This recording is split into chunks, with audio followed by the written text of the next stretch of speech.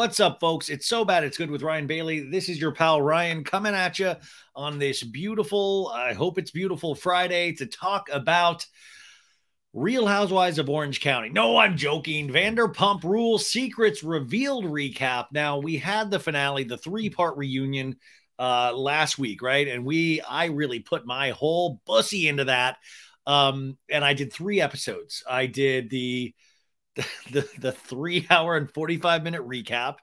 And then I did uh, the, the, the, the, interview with the Glamour magazine author of the Ariana cover.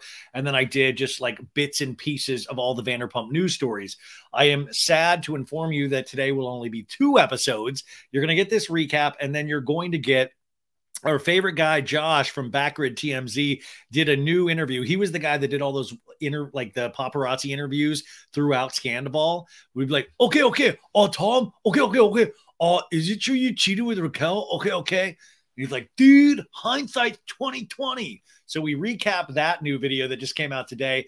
Plus i have kiki monique at the talk of shame to tell us all about dj james kennedy. See you next tuesday uh, from this Tuesday that D- the DJ the DJ Jax Taylor was supposed to be at, but he bailed last minute, supposedly for a family emergency. Hopefully that's okay, but that's going to be part two. We had a fabulous discussion. Fabulous discussion. What's wrong? We had a fabulous discussion, but we did, and we also talked about twenty. Like in that interview, there's like I think 20 minutes plus, maybe 25 of just talking about Jersey and OC. So we are slowly working other Bravo shows back into the mix now that the stranglehold of Scandal is releasing its grip. The only thing that, you know, do we want the grip released? I think we do. But let's go out with a bang.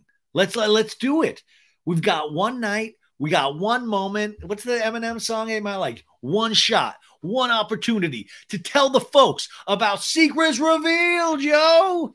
It was kind of a mid episode. It wasn't that. It was, uh, you know, but I will say, scene to scene, I think we're gonna have a blast. There's so many little good moments. Uh, overall, as a show, it's not supposed to be. It's not supposed to work linear. You know, it's not. You know, as a collection of scenes, it was great. Um, there were some scenes that were really astounding. You ended up, you know, every week they find a new way to make you dislike Sandoval even more, and Raquel for that matter. I, I'm so sorry, and also to all you Sandoval Raquel fans, hope you're doing good. You know, we'll we'll see what next season brings. Um, but uh, yeah, we're gonna get into this in a second. My voice.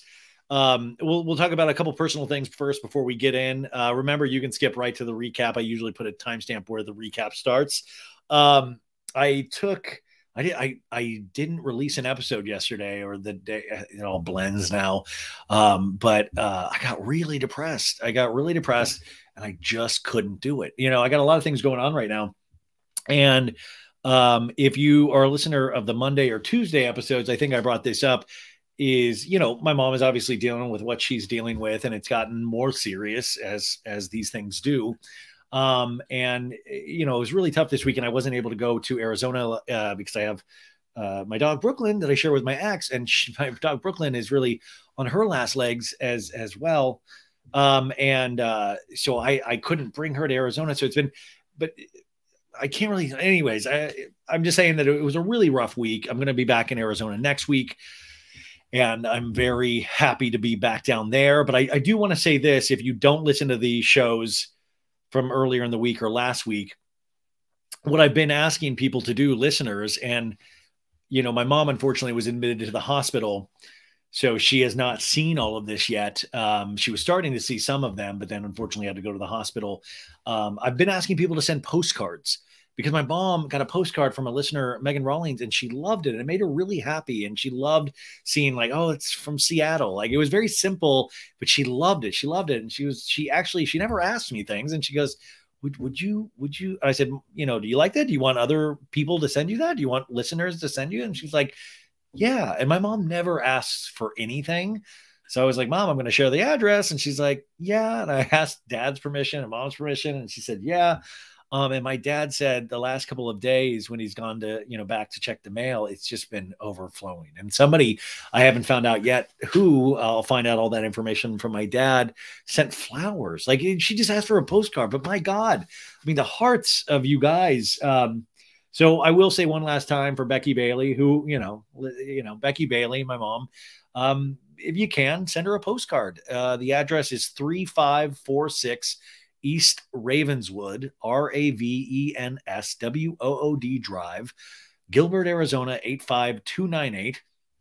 Please don't please don't make me regret that. Nobody has yet um and i'm very you know no bombs so good there. And uh i want this last part of whatever is happening right now to be uh you know to i don't know but anyways i was really depressed uh, i'll be honest about it i try to talk about mental health in this, and I know my mental health has sometimes struggled. And I, but I do want to say we're going to have a lot of fun today. I know that's a little dark thing that I just talked about, but don't worry because I want to assure you that being silly and stupid and talking about something I love, like Vanderpump Rules, has helped me tremendously. So I am going to put everything into this. And you're like, dude, it's just a podcast, but for me, it's so much more than that. So you will, and I, I this will be good. I swear. We will make sure that it's good. You're a worm with a mustache. Did you know Tom Sandoval was in a jacuzzi with Raquel? uh, before this, earlier tonight, I did a um, a live Patreon, which, by the way, come on over and join patreon.com forward slash so bad it's good. So many cool, funny people in there. And even if you couldn't make the live, you can actually watch it. It will be, uh, there will be a link there for you guys to watch it. It was a lot of fun. We uh, joked a lot about, about a lot of things. Um, you know, my group tends to make fun of me a lot, which I don't know how I feel about yet, but it, it was great. And uh, of course, we talked a lot about Ariana admitting to enjoying anal, which we'll talk about tonight. So, also, hey kids, if you're listening, uh, have your mom or dad explain uh, what the old anal is. You know what I'm saying? Sorry, we got to have the conversation with the kids at some point, right? Um, thank you guys. This whole journey of not just this podcast, which I've been doing for years, but especially Scandoval um, I was so sad about this and still am sad. I really, like I've always said, looked up to Tom, and I know Jax Taylor made fun of me for that, as well as a lot of other people. Uh, but I really did. And that's why I kind of took this. You know, I don't know why I need to put people up on pedestals, but I somehow I do that with a lot of people, and I'm always looking for role models, even though I'm an old man. You know, like, I don't know why I'm like, what am I looking like? At some point, I'm like, who's the role? regardless, I, I've learned lessons this season that I will take into further seasons of covering any show. But I truly did look into that guy and I thought, looked up to that guy, and I thought what he did was just horrendous because I truly do love Ariana.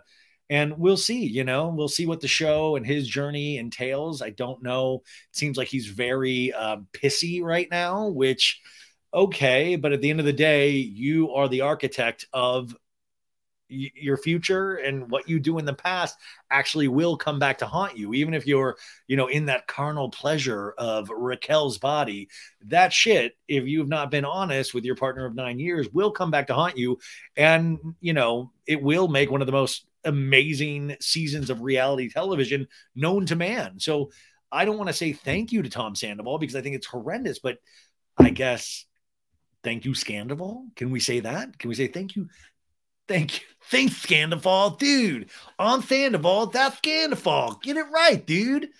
Um, but we've been covering this like we covered the entire season of Vanderpump Rules from day one, uh, you know, from season 10.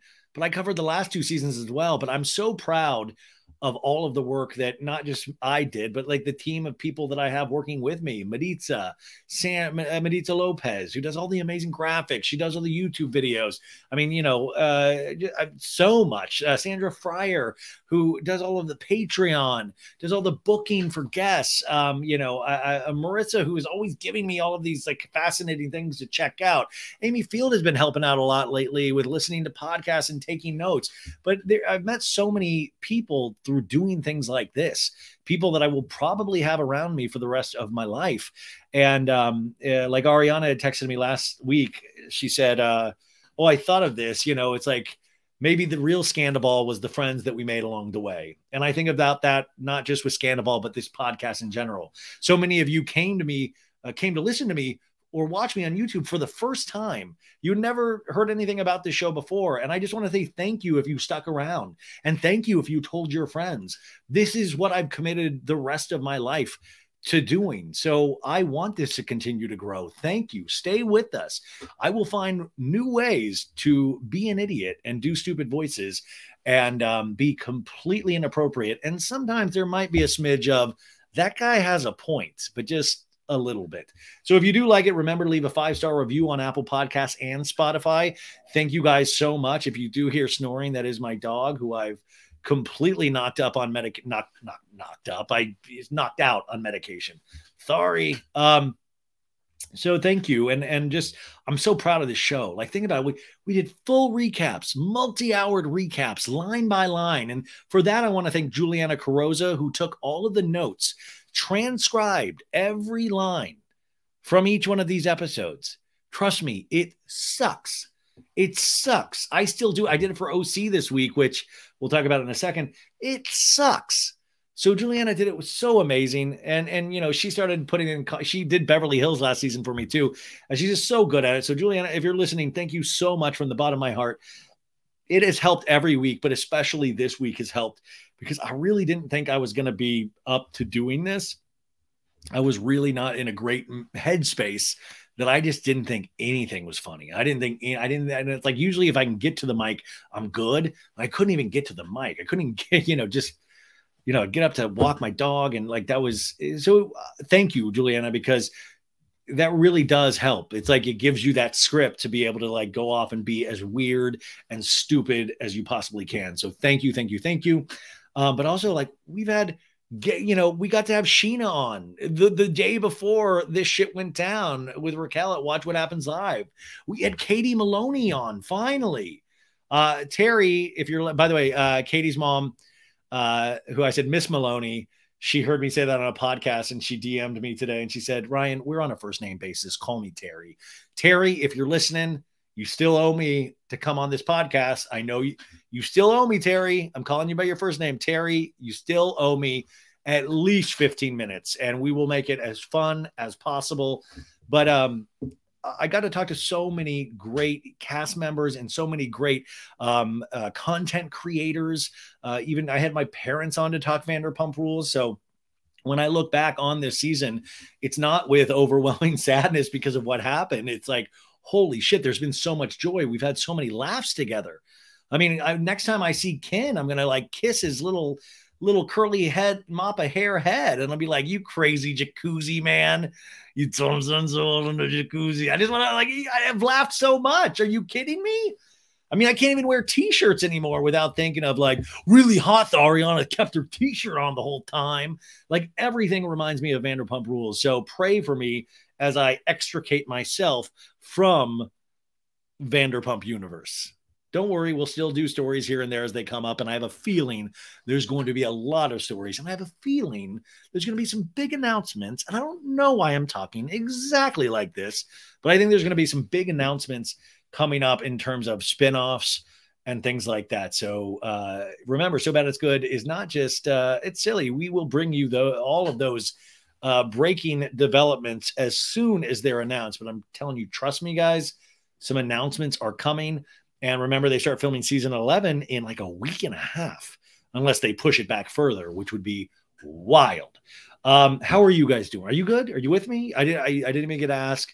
I always love to picture you guys, whatever you're doing, if you're in a car or at home or at church, potentially. We, we got some people in church listening.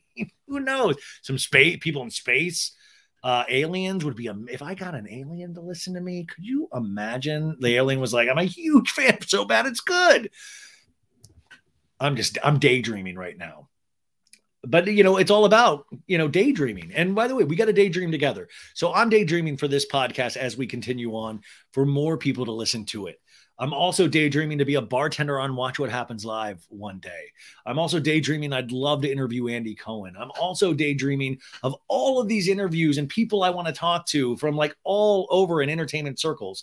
So I'm asking you guys, tell me what your dreams are. Not for you. I don't care about your dreams. Get get out of town. No, I do actually care about your dreams, but tell me what your dreams are for this show. Who do you want me to talk to? What do you want me to cover? Um, uh, I'm I'm all ears, and I know Sandra and Maritza who work for you know like Sandra's dying to reach out to people, um, you know. So so and and and as things progress in my life, just this is my safe spot. So I will be continuing to work, and uh, I consider this much more than just this podcast. This to me, this is some sort of weird family or some sort of weird connection that we've started, and this conversation does not end because a season of television ends. This is ongoing. You're like, dude, just shut the fuck up and just do the fucking podcast, dude. Okay, are you guys ready? Here we go. Crack my back. Oof. And you guys, I think I said this earlier. I understand. I I understand there's creaks my chair, and sometimes you hear weird mic noises. I have a wooden chair. It's not. Sandra didn't believe me. She thought it was a metal chair because of the creaks. It's a wood chair. It's probably going to break on my fat ass any day now, and then I'll put it in some sort of Vanderpump museum of like the chair my fat ass broke during Vanderpump Rules season ten but uh, I, I, do need to get a new chair. Just haven't had time. If if you have any chair manufacturers are listening, please send me a chair. Um, but I, I, it's being taken care of. Oh, that's what I said. I didn't get to do an episode this week, but I was going to do one Thursday. I was going to. What is today? I was going to do one Wednesday night with OC, Jersey, and Below Deck, and I had all my notes, but my voice was for some reason so sore because uh, I had done a two hour Patreon about the Kardashian new season, which I still love to talk Kardashians. The Patreon people are like, ah, you know, they just really, but I think you got to study that family. Um, so by the time I got to do that, I just, my voice hurt and I, it was just like, I can't do it. So you might get a surprise episode this weekend involving other shows. You might, who knows? Crazier things that have happened. So, one last time with feeling. Vanderpump Rules, Season 10, Episode 19 Secrets Revealed. Now, this is the description the cable company gives to let us know if we need to watch this or not. This is says a deeper glimpse into the fallout of the post hashtag scandal. Never before seen moments from the summer shed a new light on glaring secrets that have since been revealed. Tom and Katie face the reality of their divorce while still living together, which for me, that was the most powerful scene for me of the entire episode. They start with the Tom and Katie scene. That was the most powerful scene of all of it. And what I had always said was, for me, that was going to be the overarch, like the, the biggest story of this entire season would have been Katie and Schwartz. And I'm curious if there are other scenes regarding their relationship that were left on the cutting room floor to make way for Scandoval. And it is funny, you know, when you not funny, but it's tragic when you think about how Raquel was involved not only in, you know, Ariana and Tom, but Tom and Katie's relationship in terms of storyline. Like this girl just threw a rock and just like fucked everything in terms of you know, just relationships. I'm not saying that Raquel was responsible for Tom and Katie at all, but I'm saying, isn't it interesting that that was one of the big, um, the big plot, the big storylines was Katie going like, don't date anybody in the friend group. And then Schwartz is like, I got a vibe, dude. We have good energy. I felt something, which Schwartz says to anybody. He literally says it to that girl on the first date that, that, that they covered on this. He's like, Oh, it's good. Like I felt something. I have just feel I have a feeling Schwartz is one of those guys that can feel something with any girl. He's like, ah, oh, something there, dude. Um, so uh that is that is the okay, wait a sec, you guys. This starts my favorite part of Secrets Revealed was Lisa Vanderpump's um, narration of this. So they have her there in the, you know, like that pink satin, whatever the flip it is that she's always wearing. They're shooting her through like Vaseline and you know it's like the it's like Kris Jenner it's like Kris Jenner lighting where it's you can't uh you sorry I'm oh uh, no no no no sorry I have the TV going on sorry I'm like no no no I turned the TV on to watch the visuals at the same time. And I realized I need two remotes to actually turn the sound down. Yeah, you just, that's uh, in the inner workings of so bad it's good. Um, no, so Lisa's in that, you know, the pink, purple satin get out. Like Prince would be like, girl, yeah. Um, she's there. It's like completely lit within an inch of anybody's life. She's so lit up. And they do this thing now on reality TV. I noticed this on Kardashians the other day with Kim, is that there'll be like a makeup guy like making Lisa up, and there'll be like somebody messing with Lisa's mic, which by the way, full tit on Lisa. Lisa's like, uh, I need more buttons on button. I want people to see nipple. Please free my nipple. Did you know sometimes? No, no. We're talking about my nipples. Like I'm seeing so much skin. Like if I was an 11 year old, 12 year old boy watching Vanderpump Rules, I'd be like, who's this Lisa lady? Because she is showing a lot of boob and I'm loving it. But they do this thing now where it's like they're not rolling. So they're just kind of having weird banter. But trust me, guys, this is all set up.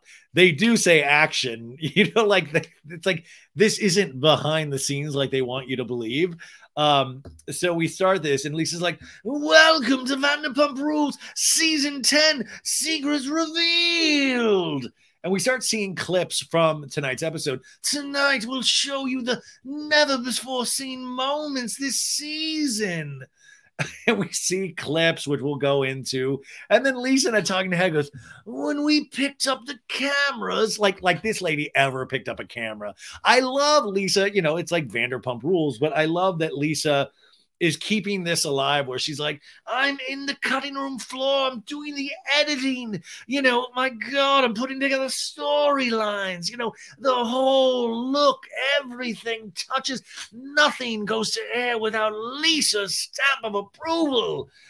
And she's like, when we picked up the cameras to try and capture this huge fallout that had happened because of Tom and Raquel's affair, there was just so much. She's really going for it in these talking heads. It's like it it just all wouldn't fit into one episode.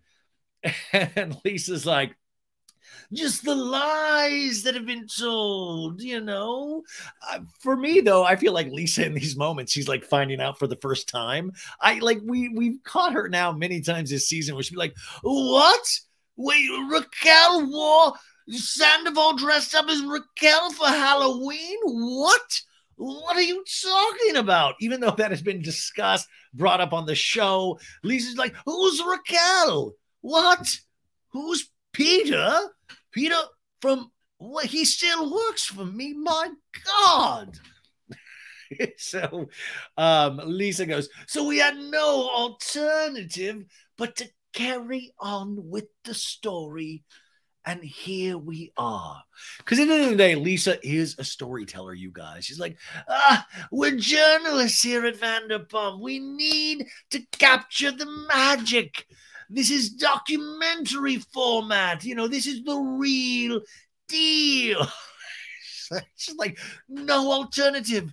I couldn't, in good conscience, not pick back up the cameras. By the way, Lisa's like, you know, that scene with Tom and Ariana, you know, the day after when we picked back up cameras, I was holding the camera. It was so heavy. And that's when Ariana goes, It's not about Raquel. That's why you saw the shake. I, I mean, I was so scared. Did you know Tom Sandoval was in it? No, kid, no, not anymore. Um, so it's Vanderpump Rules, Secrets Revealed. The backdrop is SUR I love these little interstitial shots that they put in really quickly. It's like shaky shots of drinks well lit and club lights, but it's all kind of like uh, shaky. So it kind of looks like uh, you know the the somebody from the club is roofied the cameraman. It's really weird. The producer, producer Jerry, who producer Jerry, producer Natalie, Alex Baskin, everybody at Evolution, my my I don the. My hat is off to you. You guys killed it. But every time in these talking heads, it's producer Jerry's voice, just so you know.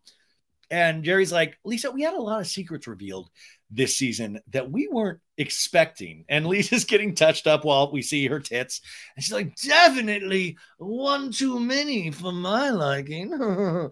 and Jerry's like, Did you ever expect that when we started this season that we'd end up where we are? Like, what has happened? I never expected when we started this whole show. We're in the business of show. That was 11 years ago that I'd be sitting in this seat. I think soon it'll be Vanderpump Rules, and I'll be walking here with a Zimmer frame. Which, by the way, at this point, Ken does walk in with a Zimmer frame. You know, sometimes about no, Ken, no. But a Zimmer frame, they show a picture is a walker with wheels. And Lisa is just that fa- fancy that she's like a Zimmer frame.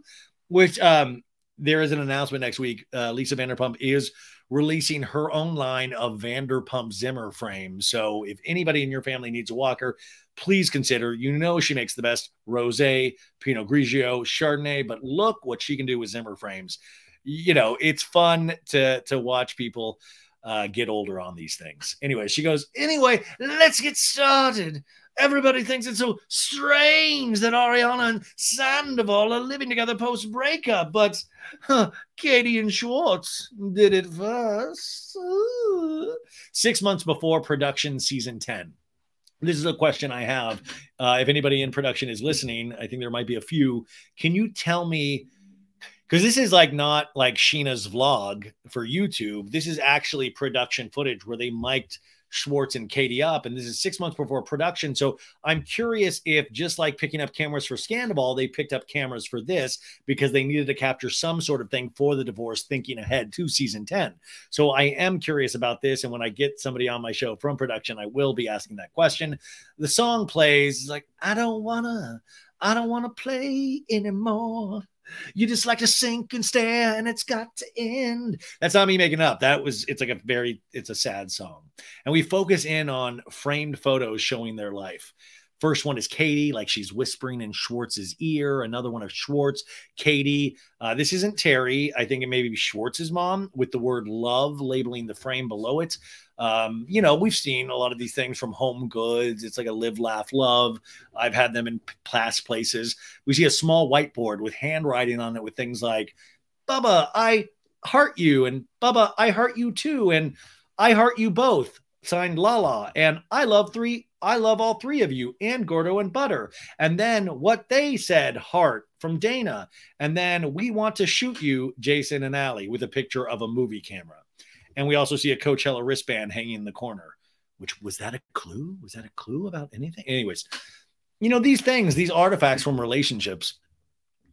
Um, I mean, this scene especially is somebody that's been through divorce and been in, a, you know, it really does.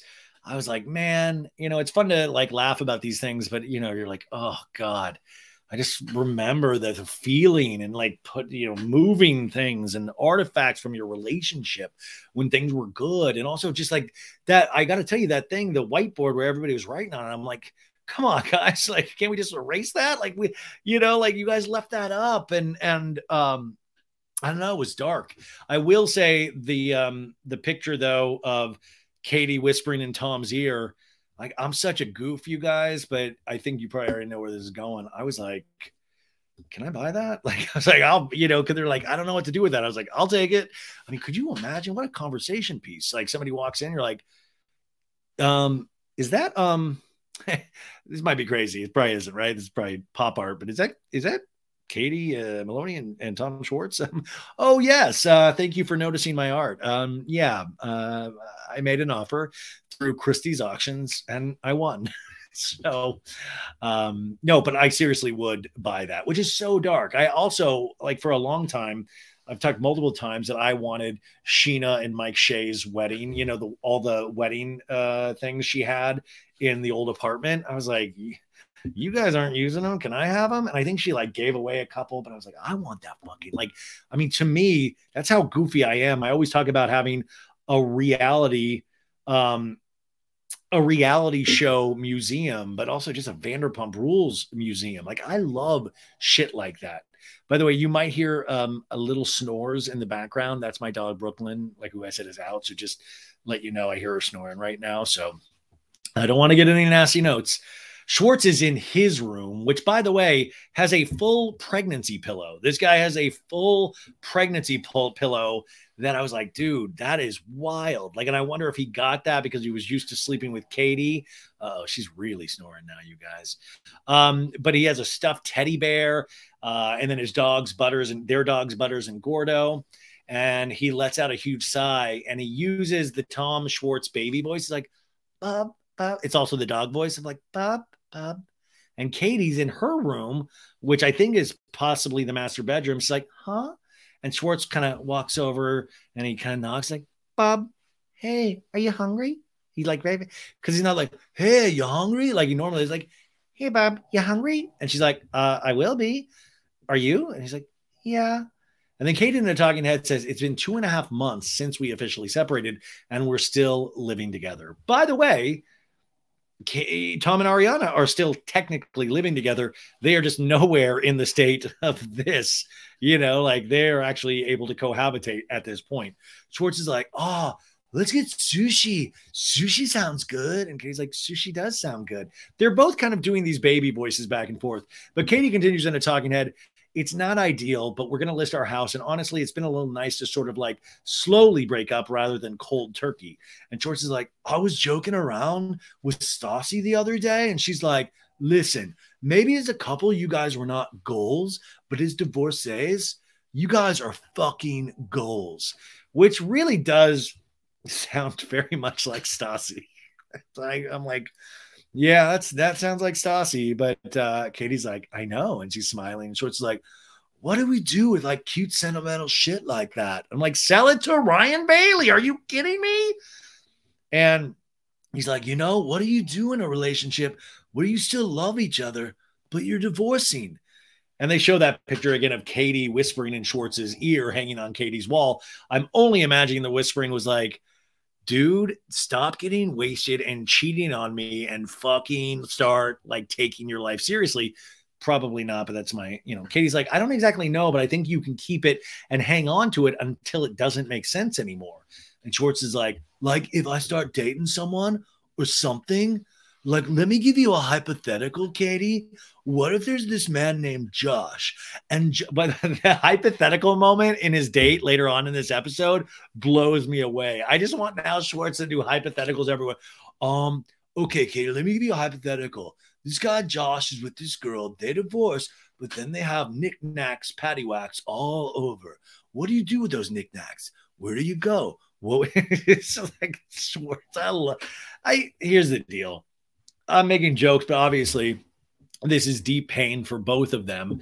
I am very curious and and I hope they never share what the actual conversations were like when this was initially brought up and and I just imagine how many late nights they had talking about this and how it would be and how it would look and you know um you know and like I always said like sometimes dudes will be so horrible that they will force a woman's hand sometimes of like you know Katie says here in a second about her own life about you know like and i think that takes such bravery for somebody to be like i i, I really i really I really love myself enough to want more than this. And I've given so many years to this. And while I will always love this person, I can't keep doing this.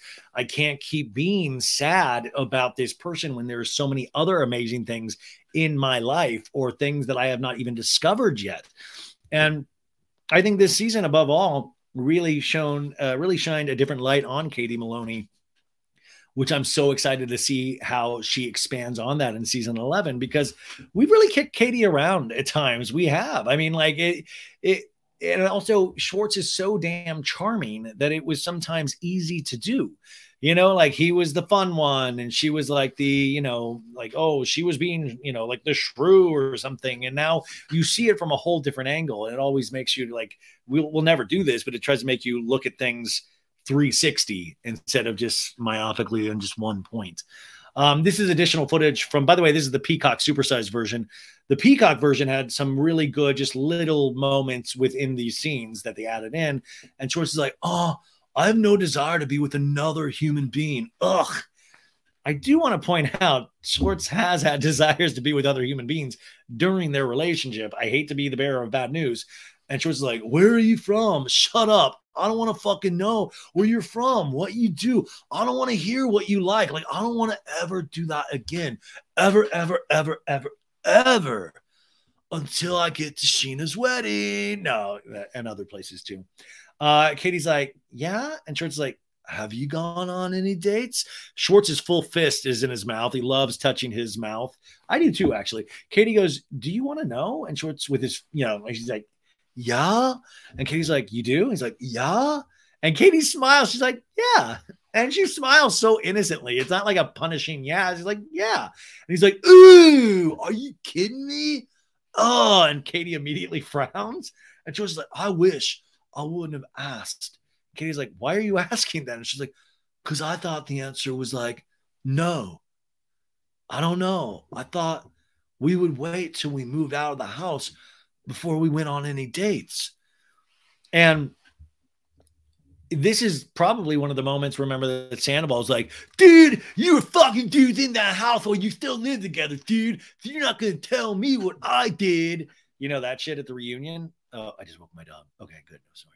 Um, Katie's like, Am I not allowed to go on dates? And Schwartz like, No, of course you're allowed. Um, at this point now, one of the dogs, Gordo or Butter, I'm so sorry, I don't know which is which, uh, has their eye on a stuffed animal on the bed at this point. And uh, there's magic happening, there's chemistry happening. You know, Schwartz and Katie may be apart, but Gordo or Butters and this stuffed animal, they are just giving each other eyes at this point. I don't know if you noticed this. Uh, Schwartz and the talking head is like, you know, when she told me we were getting a divorce, I literally got up and had to physically walk away to another because I was just in denial. I couldn't handle what she said. And then we're back in the scene, and Schwartz with his head down, holding it with his hands. He's like, okay. He's like actually crying. And I felt like this was very real, but also also to do that in front of cameras and to have that kind of vulnerable moment. I mean, Schwartz is that dude. He is just so charming that he does, even in the midst of tragedy and like stuff that he caused, you know, he does have these really, you know, he'll, he'll, he's winning moments where you're like, ah, man, if you could just pull your shit together, dude. Uh, Schwartz continues in a talking head. We were building this life together. We have our dream home. We were going to have kids and just live fucking happily ever after. And now I just, I don't know how to be without Katie, you know? It's like that was my rock that yelled at me. Schwartz is now crying, sniffling at the foot of Katie's bed. Katie in the talking head, she is crying. And I thought this was so powerful. She says, I feel happier now because I've given myself permission to be. I feel empowered because I can be myself now. She's saying this through tears and do things for myself and make myself feel happy. And I'm not waiting for someone to come home or waiting for someone to like grow up or whatever it is. And her voice is cracking, but it's like, yeah, I'm not waiting for this man to make me happy. I'm going to make myself happy, which is so fucking strong. I can't, sometimes I can't even get out of bed. It's fucking hard. And Schwartz still with his head, but he's like, sorry, oh, I shouldn't have talked about this stuff oh, and um, and just so you know, um, you know, the dog, Gordo or Butters, fully humping this animal. Like whatever is going on with Schwartz is like Gordo or Butters, whichever, just going to town on this stuffed animal. Like, my God. Is that, I mean, like this, I don't even think they wore protection. It was like, and Schwartz is like crying. It was like the weirdest thing, just going to town on this poor stuffed animal um, you know, I believe you know, like I, there was consent, so don't worry about that. But it is wild to have him in tears and just watch this dog going to town on this stuffed animal, man. Um, Katie continues in her talking head. I love him and I'm always going to love him, but it's, I've been defending this relationship for years, she says. And George is like, I'll let you have your space. And he goes and sulks off to his guest bedroom with his pregnancy pillow. And Katie whispers to herself, she's like, This is why I need to move out. And then we hear Schwartz in the hall going, like, oh God, oh man. I mean, that is wild. And it's it's one of those things too that I think Schwartz knew that was the right move because he wasn't fighting to get her back, you know, at that moment. And I think he knew it was the right decision. And I always have held close this theory of Schwartz would have stayed with Katie probably forever but I don't think he, I don't, I just don't think he would have had the balls to do this. And I think he would have continued to mistreat in certain ways. And, and I do hope for people like Schwartz, where, you know, you hope for him that he can actually learn from this. And it kind of bummed me out in an earlier episode of Schwartz and Sandy's where he's like, I don't need therapy. Schwartz and Sandy's is my therapy. And I'm like, no, therapy is your therapy. And it's you can do it. It's like therapy is yay, therapy. Now we're back to Lisa. This season seemed to be a lot about out with the old and in with the new, whether it was friendships or relationships or even Tom Sandoval's dumpy little apartment. Oh my God! If those walls could talk, he probably wouldn't get his deposit back. I always picture her like Dr. Evil. Was like with the little pinky in the mouth. Wink. Um, at this point, also in Lisa's talking head, she's fully topless. Boobs are just hanging completely out. She does disrobe more and more throughout the talking head. At the end, and don't show this to the kids, fully nude, bush, everything. It's just, it's too much. And that's why Peacock, as much as I've loved the supersized episodes and the cursing, I just, I draw a line at full nudity on Lisa Vanderpump. Did anybody else see, did anybody else just get so offended by that? I'm just I'm waiting for the one person of like, are you kidding me? Did that really happen? My God, I've got to get Peacock. So now we are in Tom Sandoval's historical shitty apartment that we have kind of grown up with with as well as he has. Ariana lived there with him, Doute lived there with him. I mean, if those walls could talk, I mean, listen, think about it. That's the couch where Doute and Jax watch Drive, which by the way, big breaking news, I will be on Kristen Doute's podcast Sex and Love and other things, I believe. I might be, but it's going to be out this Wednesday. We recorded it yesterday with her and her dude, and it was a blast. It was a lot of fun. Uh, it was very, uh, you know, man, these people it's wild to talk to these people and i hope you like it. Make sure you tune in because i'm not a vanderpumper i'm not a big celebrity so go support and let kristen know you liked it. Hopefully you like it but i want i always want to be good for anybody else's show but you know especially Doute. And you, you don't want to bomb especially i'm going to be like the post Scandoval guest where uh post Scandoval guest where it's like who the fuck is this dude man? We're you fucking had Lala on last week, and now it's fucking this dude. Fuck that. Anyways, they buzz over to the apartment that Sandoval used to live in, and Sandoval opens the door and walks in. And inside, it's just you can just smell like it's you can already tell it smells like hot dogs and sadness. It's wild. Inside, everything's off the walls. Things are stacked in the corner. There's boxes, furniture scattered around, a dirty stove. You see a dead body in the corner, trash all over the floor, uh, and there's a dead cockroach which I was like, holy shit. Jax Taylor did make an appearance. I'm joking, Jax. That's just joking. They did do DNA testing on this apartment later because it was like, what are the origins of this? And Ariana's with him, and he let Jeremy and and if you listen to the podcast for a couple years when Sandoval was on, he let us know that he still owned the lease on this and lent it out to Jeremy, Ariana's brother, to live there. And like I said, I man, I would kill to have Tom Sandoval back in there on season 11, going back to his roots, trying to discover where it all went wrong. Wouldn't it be like, wouldn't that be amazing? I always had that, like, wouldn't it be fun for us, the audience, to take away all their brand deals, all their money, make them go move back into their old shitty places and make them actually work at SUR for a season? And it'll be like, SUR, fantasy camp. You know, like I would love to see how they freak out, you know, like it would just be so great. Um, so uh, Ariana's like, why wouldn't he just take that couch to his new place and just like use it? I don't understand why he would leave that there. My thought, you'd already say it with me. Why can't I buy that couch? Was that the couch? With, was that the drive couch? That couch should be in the Smithsonian. I'm like Indiana Jones. That belongs in a museum. Are you kidding me? Sandoval and I talking heads like, even though Ariana and I have moved out of our apartment, the infamous apartment, Jeremy, Ariana's brother, has been living there for the last couple of years and he's in his mustache and these talking heads with his like Miami Vice, you know, t-shirt. Uh, you know, he hates t-shirts, but he's wearing one, and the the the you know, just very dapper with the green. And I'm like, man, you know, he blew. He got. He did get too lost in the sauce. He started thinking he was too good looking. Like he made me believe that that mustache was working. He made me believe all of it was working. And now I look at him like, ah, oh, sleazy, just fucking sleaze. Um, we get a flashback to Jeremy, Ariana's brother. Uh, he's like, Yeah, so I guess we're neighbors now, huh? And Billie Lee was like, She's like, I know, I'm so excited. Remember when Billie Lee and Jeremy, like, I thought that was going to be a thing for a second. Uh, Sam was like, Schwartz is coming by, Ariana. He's bringing the tools. And Ariana's like, he can take apart your old bed. Sandoval continues in a talking head. Now he's moving out, and I have a closet of stuff that I never went through, and I have to say goodbye to a place that I've lived longer than any house I've ever lived in, even growing up. And we see in his messy closet, and you see Coachella boxes, which I used to go to Coachella all the time. So they what they do, they mail out this box. It's really cool way to package, and it has your wristband. It has a couple of like you know like schedules and little posters, and you the boxes. I had like ten of those boxes, and I will say in regards to uh, Schwartz and Katie, I threw away all my like I was I thought I would save those for the rest of my life because I'm weird and a hoarder. And uh, I remember packing up things and I was like, why the fuck am I even keeping these? And I threw them all out.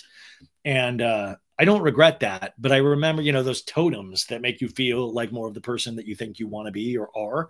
And, anyways, Schwartz comes in. He's like, oh, uh, uh, uh, what's up? And Ariana's like, I know, right? It's crazy. And Schwartz is like, I couldn't find parking. It triggered my PTSD here. And I did like, I did like um I did like this scene because it made you realize how long these people have been friends even before the cameras. Like they they did have all of these memories. What's that Barenaked Ladies song? Like that old apartment na, na, na, kids there used to be a band called the Barenaked Ladies and they have a song they have a song called that old apartment look it up. But it reminded me of this, all of these memories there pre-show. And that's why I think makes this show work because they've had so many real fucking relationships. It's all based on these real relationships. I mean, like I always think like, man, if me and my group of guy friends that all came from uh, Arizona to LA, you know, if we had cameras on us that first year, it would have been horrible. We were really boring as a group friend group. Nothing like this, but uh, it would have been fine guys, we were so geeky and so nerdy. We were in our 20s and we would go. There was this place at the Mondrian, it used Sky Bar. It was like the big hip club. And every, you know, like we would go, we would have nothing to do. We were all broke as a joke. And we'd go up and like go like walking on bars on Sunset. There used to be a bar called Dublin's, which Jay Z rhyme checks in like Bubblins and Dublins can't deny me. Why would you want me? So leave me. You know, Dublin's, it got torn down oh god the stories i have about la uh, there used to be a monday night comedy night at dublin's and this is before dane cook actually like became successful. He was like a comedian that i mean i watched there was a monday night comedy night at dublin's and you went to see this guy dane cook. It was like who is this guy? And he was so fucking funny back then and i don't know what happened over the years because i'll listen to him now i'm like why did i i didn't that's not what? But anyways we would go up to the Mondrian Sky Bar and we would just fuck with the bouncers and we'd be like DiCaprio party of 20 and they'd be like, okay, guys, it's not funny anymore. Like that's the kind of nerds we were and still are. I have a podcast. Um, so uh Schwartz is like, dude, this apartment's empty. I miss the sheet, man. Oh, I miss Jax's room. They put a sheet up, and Scandal was like, I know, dude. There was a sheet right there. And Schwartz is like, I miss the fucking giant TV. Oh, oh, oh is the AC's kicking? And Sam was like, dude, look how gross the AC machine is. And it really is just fucking filthy. And I've got to go back and watch old episodes, but did he keep that apartment as shitty as Jeremy did? Like, was it because I always remember it being like that apartment you move into in your 20s. It's not special. And I always like was shocked how long he stayed there. And I asked him and Ariana because I was like, where does Tom keep all of his costumes and his lightsabers? Because he has a storage facility. He had a storage facility that kept all of his costumes at. Because I was like, how much storage can you really get in this place? Um, so, anyways, remember the thing with the apartment was that if you turned on the microwave and the AC, the whole thing would short, and they test it out, which is hysterical, and it doesn't actually trip. So, you know, congrats to whatever that apartment building is. It would be funny if they did try it that one time and it burned down the entire apartment complex. Um, we do see a flashback of those moments of him you know, talk, Ariana talking to her mom, Sandoval's putting a, a, cup in the microwave and it completely goes black. Um, and Schwartz, uh, you know, everything's working well. Uh, so when Sandoval has to move back in there, it's all good. Sandoval and I talking heads like the times that I've gone through in my life, that apartment literally made me who I am today. It was like a halfway house for all my friends. Like we grew up in that place. We watched Drive here, dude. They flash back to Schwartz on his knee holding a takeout order food, a burrito in 2015. And Schwartz is like, hey, will you continue being my friend? Uh, did he propose with a burrito to Sandoval before he actually proposed to Katie? And Sandoval like, we grew up in this place. And then we see in 2014 Doute yelling, "You just want me to tell everyone I fucked Jax?" And Sandoval's like, "No, admit it to me, dude." And Doute's like, "I'm not lying to you, Tom." Unfortunately, uh, she was lying. And and then Sandoval uh, continues in a talking head, and I loved it, dude. I loved every moment, dude. Every stupid, trashy. I do have a question though. Did this occur to you as well? If he still had the lease and moved out, but he had the keys, dude, go make that your stupid fuck pad with Raquel. Why bring it into your fucking home? I don't want the traffic, dude. I live in the valley, and that's like in Hollywood. And sometimes with traffic, you know, like, come on, dude. Like, but why not make that your fucking shag pad? Like, was it were you really giving up the lease? How many like because this is all in that same time frame. And I do believe still to this day, we will find out that time frame gets pushed further and further back. We also see this is the apartment that Sandoval shaved his uh, forehead in the mirror. Oh man, it would be amazing if Sandoval completely lost his shit and then like he's like just he just goes on a sabbatical and he comes back and his forehead has a full beard because like I stopped shaving my uh, forehead, dude. Just letting everything be natural, dude. Yeah, he's just got a big forehead mustache. Um, we he grows back the mustache and then he has a forehead mustache.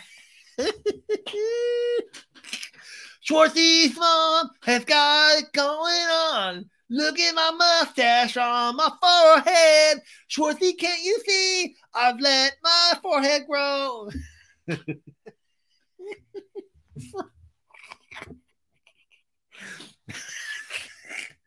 Holy shit, you guys. Sandoval's back. He's coming into Schwartz and Sandy's for the first time tonight. Door kicks in. Holy shit. What the fuckers? It's me, Tom Sandoval. Yeah, that's right. Got a mustache on my lip and a mustache on my forehead. What's up, fuckers? Let's talk to Greg, dude. I own 8% of this. did you guys listen last week? I forgot that I even did this and somebody reminded me because I'll just like just talk. I don't write out notes for like the things I'm to do. And I forgot that I did Raquel. Raquel. Sorry. I was like Raquel in her mental health facility I was like, that's the real question. Like, Raquel's not spoken at all. What's she going to come out like? And I was like, wouldn't it be crazy if she, her face was tattooed, you know, head shaved, and she's like a deep fucking voice now, no more shaky voice. She's like, what's up, fuck nuts?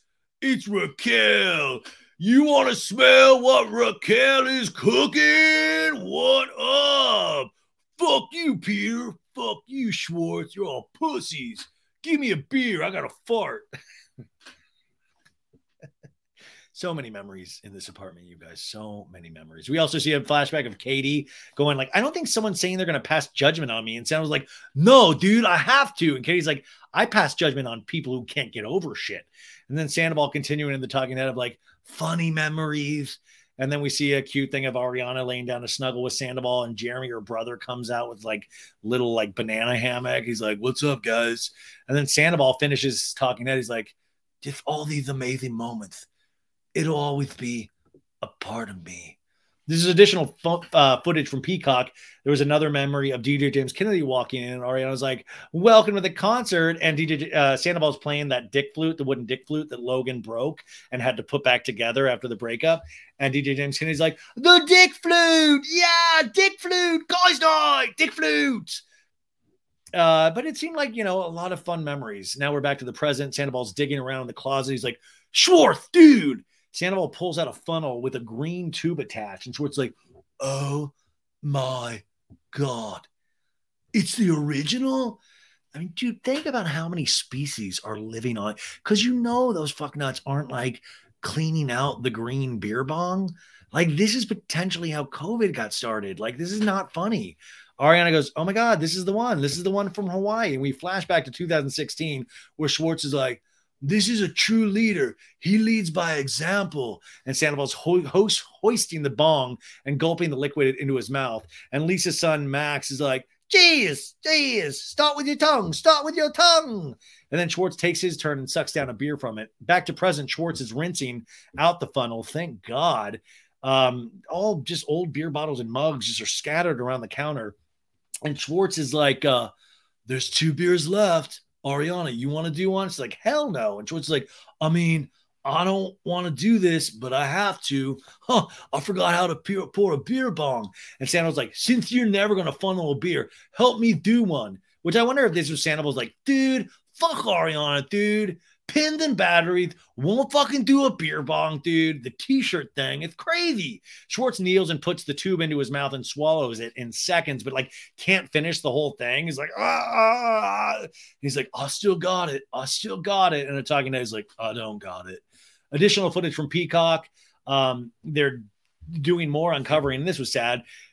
Schwartz is like, uh, Ariana's like, oh my God. And Schwartz is like, from the wedding. And Ariana, Ariana's holding up the tea towel, the wadded cloth in her hands. Um, and Schwartz is like, oh, okay. It's no, it's okay. Because they had these tea towels that they had printed on it. Um, we're getting married. Join us in the woods. Let's celebrate Katie and Tom, August 17th, 2016. And that was their wedding invite.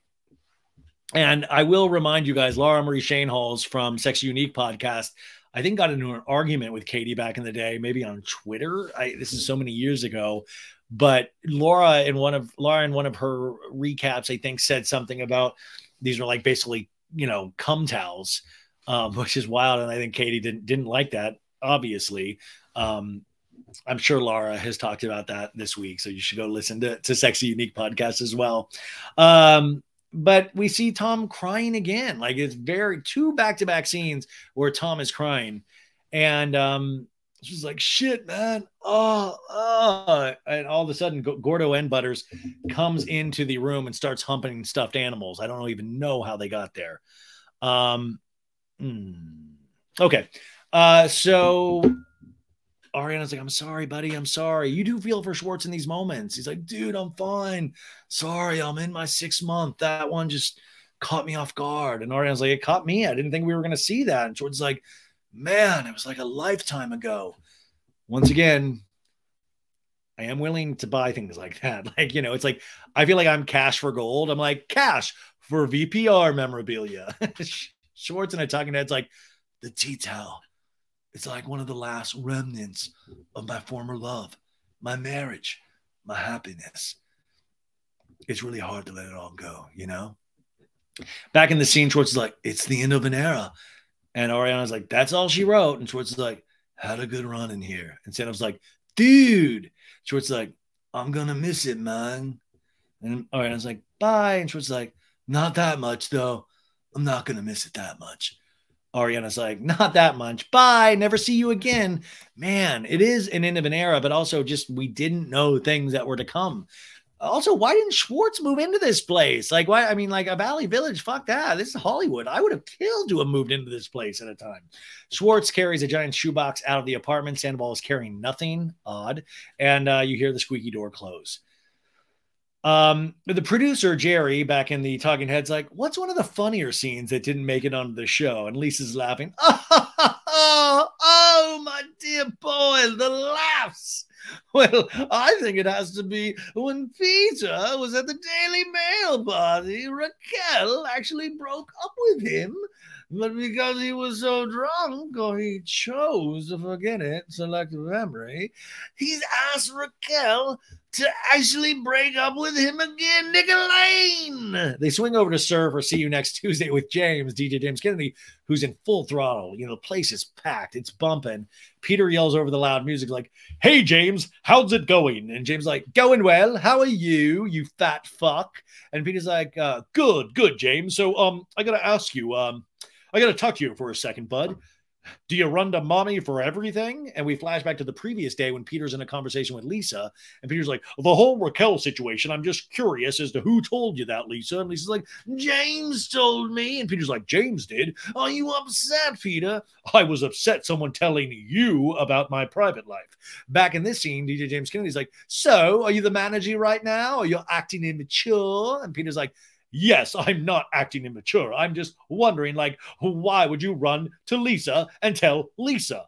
And James is like, about what? And Peter's like, me going out with Raquel. And James is like, first of all, you don't need to come at me aggressive because I'm working. Secondly, I didn't run to Lisa about anything. Peter, I did not. Flashback to two days earlier, and Lisa's like, and you're doing well, it's uh, DJ James Kennedy. And he's like, yes. And Allie's there as well. And Lisa's like, Raquel's working there. Well, that's okay. What about her dating Peter then? She's not dating Peter. Well, yeah, they are. They're inseparable, that fat fuck. And Allie's like, they just make out when they're drunk. Back to present. And James like, I don't give a flying fuck if you were making out with Raquel right there, if you're poking her right there, if you're putting in the pita sausage right there in front of me don't care. She's not even into you, bro. She's told me like a million times how she's not into you. And Peter's like, okay, all right. Uh, she told me she was going to break your heart. She's like, oh my God, I'm going to break that fat fuck's heart if he thinks that. And Peter's like, then why would she? I don't fucking know, dude. I've got my own girlfriend, Ali. She's beautiful and equine. Her skin is like porcelain, literally a porcelain doll. I've got that for a girlfriend.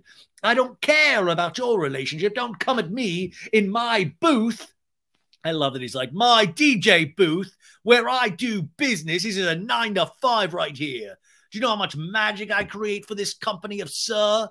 Don't come into this booth and disrespect me. And Peter's like, I won't. And he kind of huffs away. And James resumes playing the music. And he's like, Across the galaxy. Yeah. We have magic in the blood. He's across the galaxy, across the galaxy, guys died. Wham with a mustache. Peter's now in the kitchen, which is this really is completely uh, unprofessional. He's like, uh, "Hey Raquel, how you doing, bud? How what's going on, Raquel?" And Raquel's like, "Good." And Peter's like, uh, "Good? How are you?" Um, good, good. Um, huh, huh, you just see the sweat and nerves, you know, like me all the time. And Raquel's like, good. And Peter's like, Are you busy? Like, I don't know, doofus, you're the manager. Is she busy? And Raquel's like, Um, no. what do you need? And Peter's like, Well, can we talk really quickly, bud? And Raquel's like, Yeah, sure. Let's go outside. And they go to the SUR Alley, just so iconic. And I wonder if Peter, when he steps back there and the cameras are on, he's like, "Don't blow it, Peter. This is your moment." Peter's like, "Okay, um, so first off, just so you get started, I don't remember what happened the other night." And this is where the other night at the Daily Mail, when Raquel broke up with him, and Raquel's like, "You don't remember?" And Peter's like, "Actually, actually, I'll tell you the truth." I don't remember a thing from that conversation. And they flash back to that night and uh, Raquel's like, I really don't see a future between us. And I just kind of like want to break things off right now before it gets complicated. As Avril Lavigne says, Do you agree? I agree. You agree? Okay. And that was the scene. And Raquel's like, Wait, are you telling me that you blacked out? Yeah. Shut up. Even Raquel's like, Are you fucking kidding me? And Peter's like, Well, yeah. Sorry, Peter. Peter, Peter goes, Yeah, I was a little bit. And Raquel's like, Wait, why did it get to that point? Raquel asking like a question of like, Peter, why are you fucking blacking out at a Daily Mail party and actually having full conversations where you don't seem drunk? And I want to point out too, the first episode of the season when they go to that place where DJ James Kennedy is spinning, uh, that ho- little hotel thing. Peter that night also said he blacked out. He's like, I've got to get you those nachos. I blacked out, bud. like, does Peter, is that Peter's thing? He just goes to places and like blacks out, yet he completely seems completely not incapacitated. Like, is that Peter's special gift? He's like, I don't remember the last six years of my life. I've been blacked out every night. Or is he telling women that he's blacked out just so nobody can ever break up with him? Like, you know, every time Peter feels like a breakup's coming, he's like, can I get a shot? Uh, I'm going to use that as an excuse later. Uh, sorry, I I blacked out. So whatever you said does not count. Okay, it does not count. That is law. Peter goes, uh, I was enjoying myself. I was having a good time. Um, you know, it, it was it was totally fine. Uh, you know, I just I like to stand alone and get drunk. Uh, just get fucking pissed drunk. You couldn't see it, but I had pissed myself. So that probably would have been the clue you were looking for in terms of me binge drinking into a blackout at 8 p.m. at night. Uh, we get a flashback to James going, "Is Peter all right? He looks like he's crying over there." At the Daily Mail party. Back in this scene, and Peter's like, "I don't remember exactly what was said," and Raquel's like, "Oh no."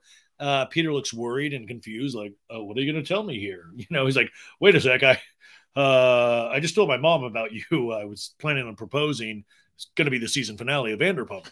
Raquel's like, "Do you want me to tell you again?" And he's like, Yeah, sure, do it. This guy loves punishment. He's like, Let me get a drink first. And Raquel's like, Um, I just came to the conclusion that I feel like you don't. Uh, I mean, I don't. Peter's like really listening, is active listening. And Raquel's just awkwardly smiling. She's like, see our dating situation going anywhere in the future. And Peter looks at her sideways, like, what? And he's like, okay, well, my whole thing was what Kennedy just told me. And she's like, what did he tell you?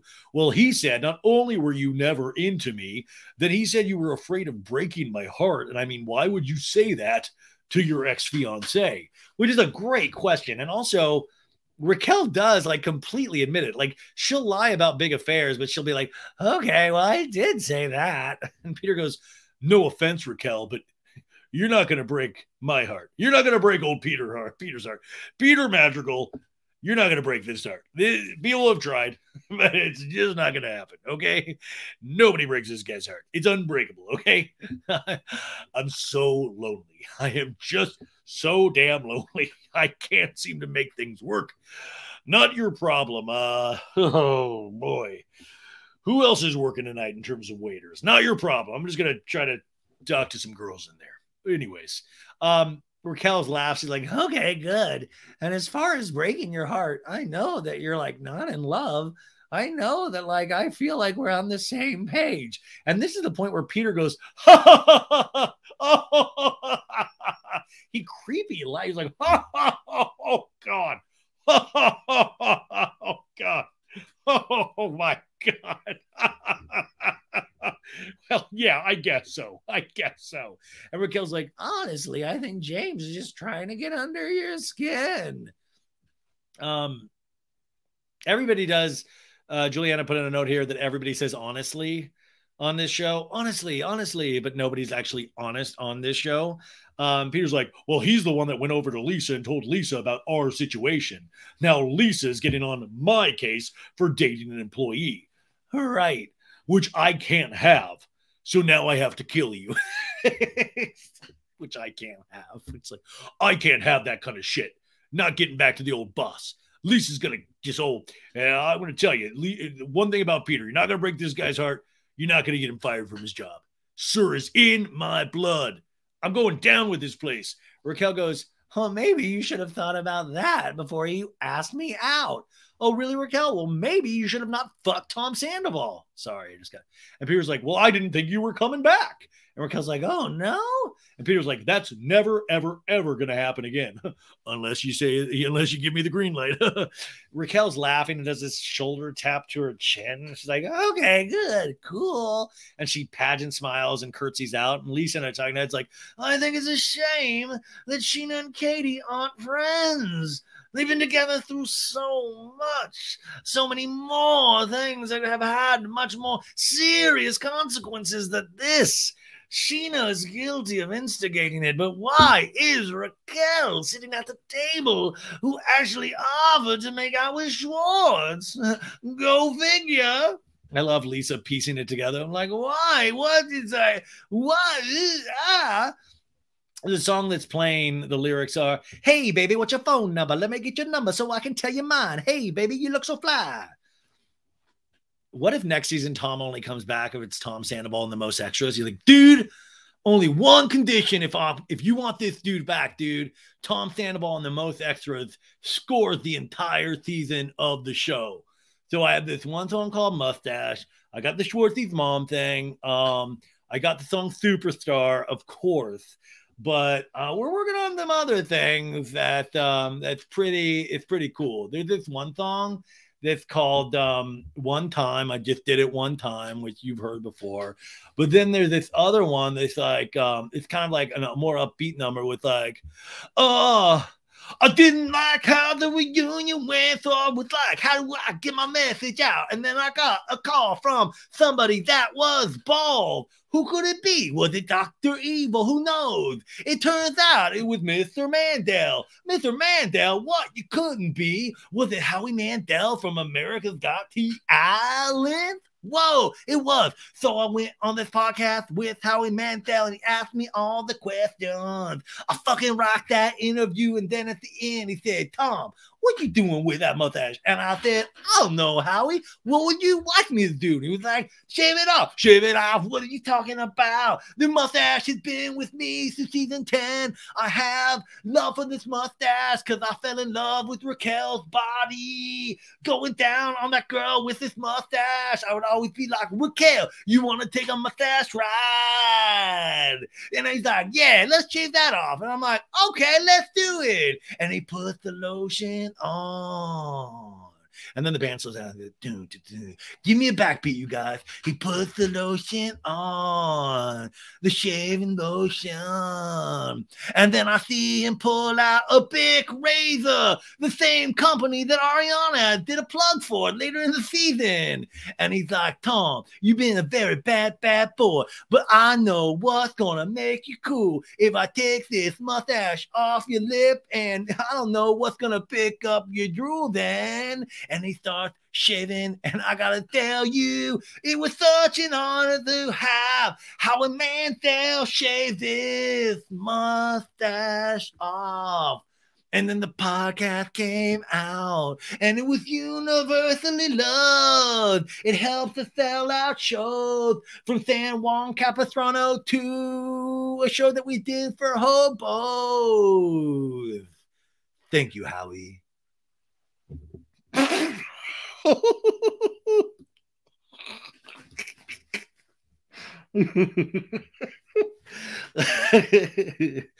I'm gonna miss you guys. they fly over to La Mesa Club and Restaurant. It's July. it's July 28th, 2022.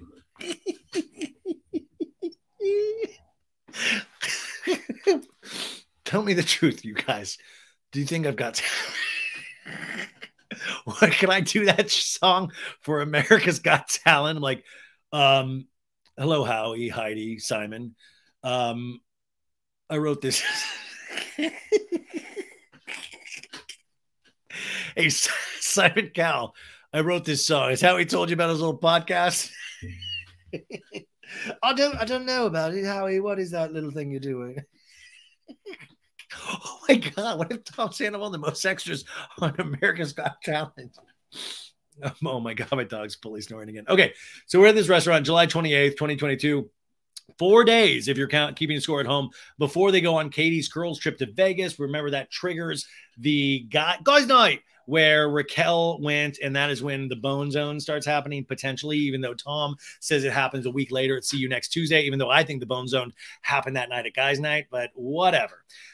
Charlie is working at this place. Now, I knew Charlie was a bottle service girl waitress at another club. And I will tell you that Charlie has told me in the past that she made more money at this club than you know because i like season 10 at the beginning she wasn't really filming a lot and that was by choice like and she i, I remember her saying like well i think i can you know, I make more money potentially doing the bottle service. Like Charlie is one of the realer cast members on this, and that's why I do want her to sign up for season 11, even though I know she's on the fence because, and they, they want her back but she realizes like there's personal pain here. And i think for charlie she is so real that she has her own shit going on and like her own things that she always is working on in terms of her own mental health. And sometimes this might not be the best thing for her. And i think that's such a smart way to look at it. But at the same time you know she said we were DMing earlier and, and she was like, well, there is going to be a writer strike happening and who knows how long that's going to last because also she auditions for commercials, print model, she does the whole thing. So I hope she comes back. Um, but Charlie is greeting them as their server. And Lala's like, he looks so good, yo. And little Lala's like, what up, dude? Can you see me? It's dark. And Ariana's like, is this the uniform? And Charlie's like, this is the uniform. And she's like, you look so good. And Charlie's like, thank you. You all do too. Uh, it's just a sexy black dress with, you know, under boob and cleavage showing. And Charlie's like, do you want me to choose your food to give like a vibe? Can we fucking stop saying the word fucking vibe in 2024, please? Let's get some drinks going. And they're like, yeah. And uh, so Lala's like, how are you feeling? She's like, I mean, I'm fine. I'm drained. It was a long day. And Lala goes, try and stay in a positive headspin. I don't want you to feel defeated. And Scheana's like, well, that's honestly how I felt about Katie. I feel that I've apologized enough. I can't do it anymore. We get additional footage from Peacock right here. And Scheana and I are talking, and it's like, when Katie and I had this conversation in Vegas about Schwartz and Raquel, it was not just one comment that was a joke. And we were at the club and she's like, she wants to see me in this light. She's not going to see me in any other away. She's telling Schwartz he's not allowed to hang out with me anymore. It was like, I wouldn't be upset if Schwartz and Raquel made out. You know what? Someone should actually make that happen. It was a full fucking conversation. Sure, the girl was wasted, but I'm sorry. I thought that, that, I thought that's when you tell the truth that's the end of additional footage. And Lala's like, would I have initiated Schwartz and Raquel? Probably not. We get a flashback to Scheana's podcast featuring Schwartz. She's like, let's talk about Raquel. There's this rumor online saying you guys were at Coachella. And he's like, I wasn't at Coachella. And she's like, Would you make the rumors true? And this is where Scheana, I, t- I talked about this on the Patreon. Scheana shows up to work, man. And I think sometimes in the past, production has not um, given Scheana her proper due and they do a lot of editor trolls and i get it and I've, I've enjoyed it like everybody else but scheana makes shit happen. Like scheana's like you don't want to film with you don't want me to be like a lead in this? Well i'll make myself invaluable. I will start shit. I mean it's painful shit but like this is scheana working right here in that scene. And lala's like well so why is it she's not coming talking about Scheana on the girls' trip. But Raquel, who was trying to make out with Schwartz, is like, it's okay. And Ariana goes, Scheana is bearing the brunt of the feelings. And Scheana's like, I know. Say that to Katie, please. And Lala's like, yo, laser beams on the wrong bitch, yo. And she's doing the little gun hands, like, pew, pew. and little Lala's like, yeah, dude, laser beam, bitch. And Lala and the talking heads like, was only trying to facilitate it, yo, which is fucked up. But Raquel's the one who actually tried to make it happen. Flashback to Raquel at the Canyon Club, that one of the first episodes when she's like, Do you want to make out, Schwartz? And Schwartz is like, Are we on are we on camera, yo? Oh, uh, okay. Uh, uh. Like she really was. Remember, she was going for that. Like Raquel, I really am so curious when the Tom shit initially truly started but also Raquel really had a death wish in certain, you know, she was going for, you know, she really was in a process of self discovery. It was just all bad discoveries. Lala continues in a talking head, Katie, you got two hands. You would certainly be pointing at both. And Raquel's like, Yeah, I was totally prepared for her to uninvite me to that trip. I forgot Raquel was in the scene uh, Scheana's like, well, I have to deal with this. We're going to have to like reconfigurate, which I don't think is a word, uh, the seating arrangement. You know, she's like, I don't want to, Katie, ah. And Ariana's like, well, let's switch now so it doesn't look like an obvious thing. They get up and swap seats as Katie arrives. And, you know, Lala's like, oh my God, you look hot, yo. And Scheana to Ariana's like, glad I didn't wear that. I have the same exact outfit, which is like a silky white low cut mini dress that ties up in the front. By the way, that's a Juliana Carosa note. I would not be able, I'd be like fucking wearing things that cover her the god parts. Um, Scheana and the talking heads like, hmm, that dress looks familiar. And they show a side by side photo of Shenanigans, her podcast, and I guess she's wearing that in the cover art. She's like, that looks familiar. I do think I wore it better. In no possible imagination, realm of imagination, do I imagine that Katie was like, huh, I'm going to show this person. I'm going to wear their shenanigans cover art. I'll get her. Katie is sitting. She's like, it feels like I'm in another, you, you know, the restaurant. Like I'm not in LA. And Charlie's like, well, I got a quick five minute break. Scoot your cooch. God Charlie, stop making me love you more. Scoot your cooch. I've never heard of that. Then I was trying to think of things for guys. I was like, dock your cock, you know, like squeenus your penis. Like I nothing, but I was like, scoot your cooch. Like, like fucking Shakespeare. Um, she's like, How are you? You know, talking to Katie. Did you ask Raquel about the Tom Schwartz situation? They're having separate conversations right now, you guys, the two groups. But Scheana is trying to listen to what they're saying. And Katie's like, Raquel crossed the line and she apologized for doing that. Raquel also doesn't know me as well as Scheana does. Raquel so also Raquel also likes like has sat and now listened to me. And Charlie's like, well, sometimes Raquel, she's like cardboard, you know? Boom. Damn. Charlie Burnett is my favorite person sometimes.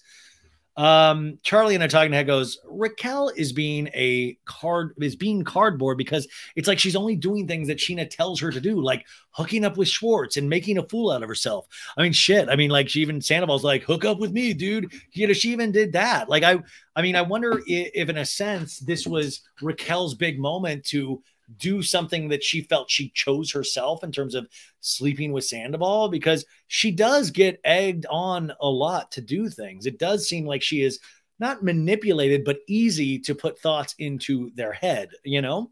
And Katie's like, she got lost in the sauce. Can we stop also saying lost in the sauce?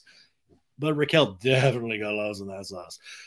Charlie goes, she definitely got lost in the sauce. And Lala goes, what are you guys talking about, yo? And she's like, we're just talking about the guy Raquel is talking to who goes down on her really well. And Lala goes, is his name Schwartz? just kidding. and then I was like, no, it's probably fucking Tom Sandoval right? Because Tom Sandoval was also like in the Howie Mandel thing, was like talking about like, dude, if you had sex with me, like I was just so out of practice, dude. I didn't have my mojo, dude. Like, you know, and he was admitting to watching porn in the bathroom and whacking off. And so me, I just have a feeling he was like doing every dirty, weird thing that he had seen in any of these videos uh to to Raquel to try to like you know like say that like dude I'm a professional lover dude do you see that at all am I off I don't know Charlie's like, everyone needs to take shots. We need to get them fucked up. And Katie laughs. And Charlie's like, should I just pour the bottle in Ariana's mouth? And Katie laughs again. And Lala goes, when I have sex, yo, I have to be on top because I got to do the rubbing or I'm not going to get off. And little Lala's like, yeah, you got to rub me, dog. By the way, you see Raquel listening closely, like kind of taking notes about sexual situations. Um, this is, and Ariana goes, no, I don't come for from penetration. And uh, you know, listen, yeah, let's gather the kids around you guys. Uh, let Ryan Bailey teach your kids about the birds and the bees. This is Ryan Bailey, sex expert. Um, but basically, they're talking about what gets them off, and Ariana, the old woo woo, putting it in, putting it out, is not doing it for Ariana. That's totally normal. And Lala goes, I gotta get the rubber dub dub, yo, yeah, bitch. And Ariana's like, unless it's penetration in the woo woo, and she points to her bottom. And you guys, I don't want to know that.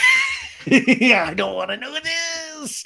I missed this in the Glamour magazine cover story. I guess I missed it. Um, at first I was thought she meant doggy style. I was like, she, you know, in doggy style, you guys is where when you take um two stuffed animal, you know, it's I it's I don't want to have this conversation. And and but Scheana's like, oh, really? And Ariana's like, yeah, I'll come from that real fast. And I'm like, what? Ariana they're talking heads like, oftentimes when you go to like a really exclusive club, the front door is like where all the regular people will be going in. And then the back door is like where the really chic celebrities go in. And I'm like, what? Say what? Uh, the back door is all I can think about is backdoor teen mom, the Farrah Abraham video that, you know, literally launched her anal career. Guys, this is a sex positive thing. I, I, you know, I'm not, but like Ariana all of a sudden get, you know, like the anal queen. Oh, I'm like, what? And then she's like the exclusive club. And I'm like, I've only been to the regular. I've I've only been to the regular club. I don't even know at this I don't think I'll ever want to go to the exclusive club. I don't I don't think I can afford it. I don't I mean I don't want to get bottled like, ugh, like I couldn't, you know, like listen, it's feels it's probably really tight back there. There's just not a lot of room, and you know, a lot of weird things happen in the exclusive club. I don't want to do that, but I really a fascinating. like that to me was the secret revealed. I was like, okay, well, I'm done. See you guys next week. like too many secrets revealed. Did you know Tom Sanzo and Ariana is in the backdoor exclusive club? Jacuzzi know. I uh, this show continues to shock and surprise, titillate, and disgust. Um, no offense if you're a big anal person, thumbs up. Uh, not up there, but thumbs up. Katie to Charlie's like, Can you get off work and come to Vegas and Lake Havasu? And Scheana hears Katie asks Charlie, and she's fuming. And Charlie's like, Havasu's like stepping into a different territory. Havasu's like white trash, way white trash. I do want to remind you, Havasu is where Lala met the Don and they could not get their security deposit back because Lala got so excited from the dawn that she soaked the bedding, according to Lala. Scheana in a talking head is goes, is she seriously inviting Charlie right in front of me? And she's so fucking rude. But that's like Katie. And Charlie stands up and is like, Well, I'm gonna go do my job. Give me two seconds. And then when I get back, shots. And she is like, So I know there's a trip. I know I'm not invited. That's totally fine. I know we're not there, Katie. But I just hope moving forward, if we can just have nights like this, I can have a good time with you. And I just want to say, also, Scheana's saying this, but it's like secretly she wants to be invited so badly in this moment. Katie's like, Well, that's why I'm here. If I didn't think that was possible, I wouldn't be here. Well, if it ever gets to something more, awesome, Katie. But if it doesn't, I've accepted that as well. And Katie nods her head, yeah. And Katie in the talking head goes, if Scheana were to actually own what she's done and apologize for her words, well, first, I would like die of shock, but you know, I might be able to move forward, but that's not an apology. And Scheana's like, well, so cheers to being cordial. Where was I? That's right, anal. Um, also, by the way, if, if do you think Ariana's ever told Tom that she, you know, like, I love Tom was like, dude, sex with her is like vanilla, dude. You're telling me anal was on the table? I don't even feel appropriate saying anal, so I'm just going to say anal. Anal was on the table, and this dude doesn't think she was adventurous enough. Anal? Do we actually? I'm now worried about like anal, like anal was happening, and that wasn't good enough for Tom. I'm, I'm, I'm befuddled. I'm bewildered, and I'm truly like, wow, wow. Okay. oh, then by the way, there I don't want to blow it, but then Dodie asks me what I wouldn't do for love at the end of her podcast. And my answer might surprise you and has a little something to do with Ariana now that I'm thinking about it. Okay, so moving on, the producer's like, Lisa, did you ever suspect or think Sandoval and Raquel would become an item? No. However, now we know why Sandoval defended Raquel so much. It turns out he was in more than just a corner. Unlike Ariana, when he was in her back door. We breeze over to Ariana and Sandoval's house in Valley Village. Ariana is in her bathrobe in the in their bathrobe in the kitchen uh, is giving Maya her dog treats, and this is after um, this is after guys' night. And remember, you know, her dog Charlotte, her you know her best friend, you know, she had to put down, and and it was just that's heartbreaking. And this numbnuts goes to guys' night and then literally talks to Raquel all night. Now, I believe a lot of people are thinking that this uh, the sex had happened the night before this, or that's what I'm seeing. But from Tom Sand, well, you can't really trust anything these doofuses say that supposedly it happened at See You Next Tuesday the next week. But regardless, whatever was happening started happening I mean, I think it started happening before guys' night, but it really kicked into gear because we see Jamie Lynn from Jamie All Over the podcast. Jamie's amazing. She's been on here a bunch. I was on hers a couple of times. I highly recommend her podcast. If you want to see the full video of the video that they show of Tom and Raquel speaking at Saddle Ranch, I know it's over on her Patreon right now, I believe, and she's giving that money to a good cause. So if that is something to your liking, please, Jamie's great. Um, so it's uh, this this is so infuriating. Santa was like, missed you last night, Ariana, but uh technically it's supposed to be kind of guys' night. You son of a bitch. Gross. Dude. We flash over to the Mondrian for guys' night 15 hours earlier, where Sandoval sees Raquel and Charlie walk in. He's like, What's up? How you doing, dude? And Sandoval now is back in the kitchen. He's like, making a dumpling latte for Ariana. And DJ James, uh, Santa was like, DJ James Kennedy was not like super stoked that like Raquel showed up. I love how he keeps playing off Raquel and Raquel plays off herself to Ariana of like, yeah, like DJ James Kennedy was jealous, but we know Raquel, she's amazing, no harm, no foul. Ariana goes, well, I thought they were like cool. And Santa was like, well, he said, he told me I don't want to be like drinking around her. And Ariana's like, yeah, you can't like truly relax and be yourself. And then there's a knock at the door. Maya barks because she senses evil. And, um, and, you know, Raquel walks in the house, you know, all smiles, carrying a vase full of pink ro- ro- roses. But before that, Ariana's like, why do people do that? Why do people knock? Why don't, you know, just walk in, walk in. And I'll tell you why, Ariana, because vampires need to be invited into your house. They need permission to come into your house. Um, so uh, yeah, that's what I'm saying. Raquel's a vampire. Sandoval smiles. Like, what the? By the way, like, I mean, this is the point where you're like, ooh, creepy. It's just, it's super intimate, this scene and how he's like, because you know they have this little secret already, this dirty little, over there, that side of the, it's very incestuous, very creepy. Um, and Charlie's with Raquel. They brought over Jersey Mike's for lunch. And Charlie's like, "Hey, baby girl," to Maya and Sandoval. They Raquel brought Ariana flowers because that's the appropriate thing to do when you steal somebody's boyfriend. And uh, Santa was like, You brought me flowers? Oh my God, I love it. What a dumbass joke. Ariana hugs Raquel's like, Oh my God, these are so beautiful. And Charlie has a bottle of rose wine. She's like, Hey, I'm a little hungover. And Sandoval hugs her, then turns and hugs Raquel really tight. And she's giggling and laughing and just enjoying their little dirty secret. And Santa was like, It's been so long because they just saw each other at guys' night. And they also talked into the wee hours. They flash back to that scene of Tom and Raquel only at Saddle Ranch, only 10 hours earlier, sitting next to each other and just talking, like all in each other's grill. Now, Jamie was on this podcast and I was on hers, and she told us that that night when she recorded that video, she was with Brett, the general manager of Schwartz and Sandy's, and they were doing these kind of silly voices. I have, she sent me that video of them doing silly voices, and they really thought they were just making fun of two like drunk guy, you know, two drunk friends, and they were doing voices like, What do you think? Well, I don't know. What do you think? And in reality, they were being super weird and creepy. Sandoval pulls away and kind of shakes Raquel and says, really excited and gruff, like, I barely recognize you anymore.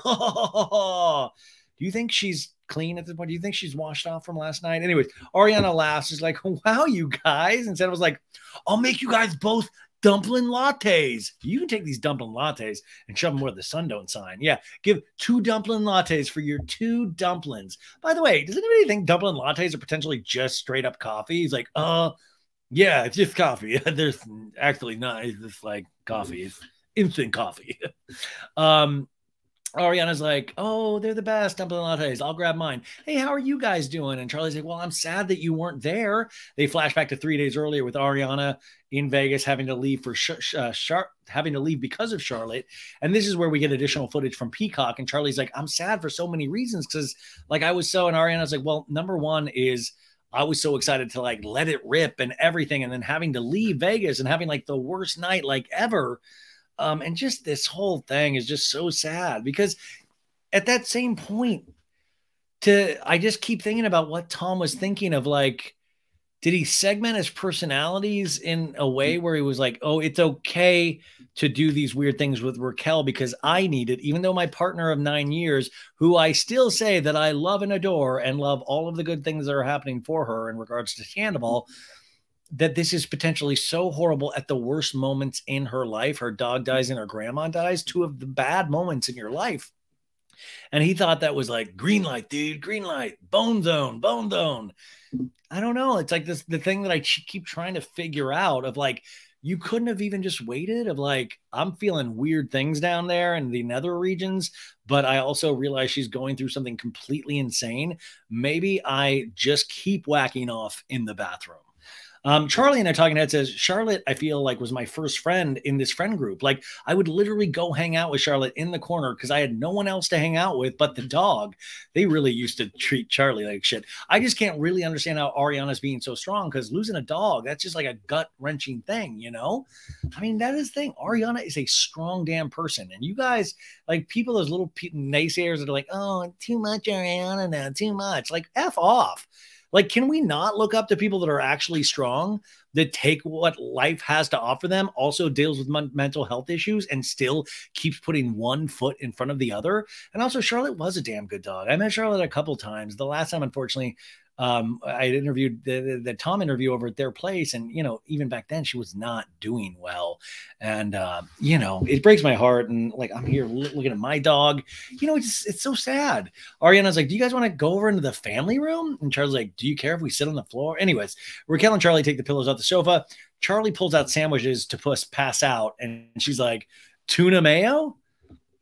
They get a tuna mayo Jersey Mike sub makes me queasy. Also, uh, shout out to my Patreon group. We did a live I told you about earlier, and they literally got on like a tuna rant. They just kept saying throwing tuna comments because of this. They were really loving the tuna bit.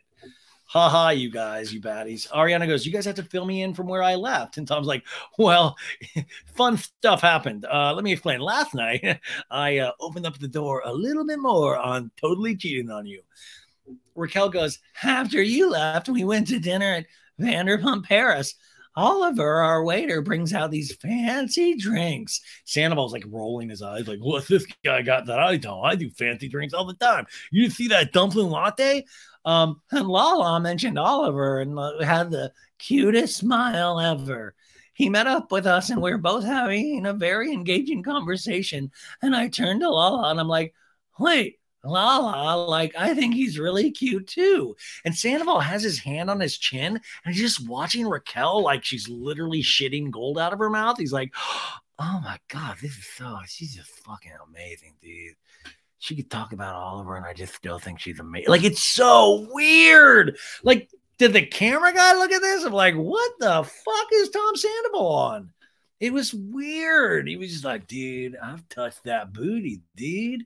Raquel continues, she's like, Lala goes, you know what, Raquel? I'm not gonna do anything with him. I'm gonna give you the green light, green light, green light.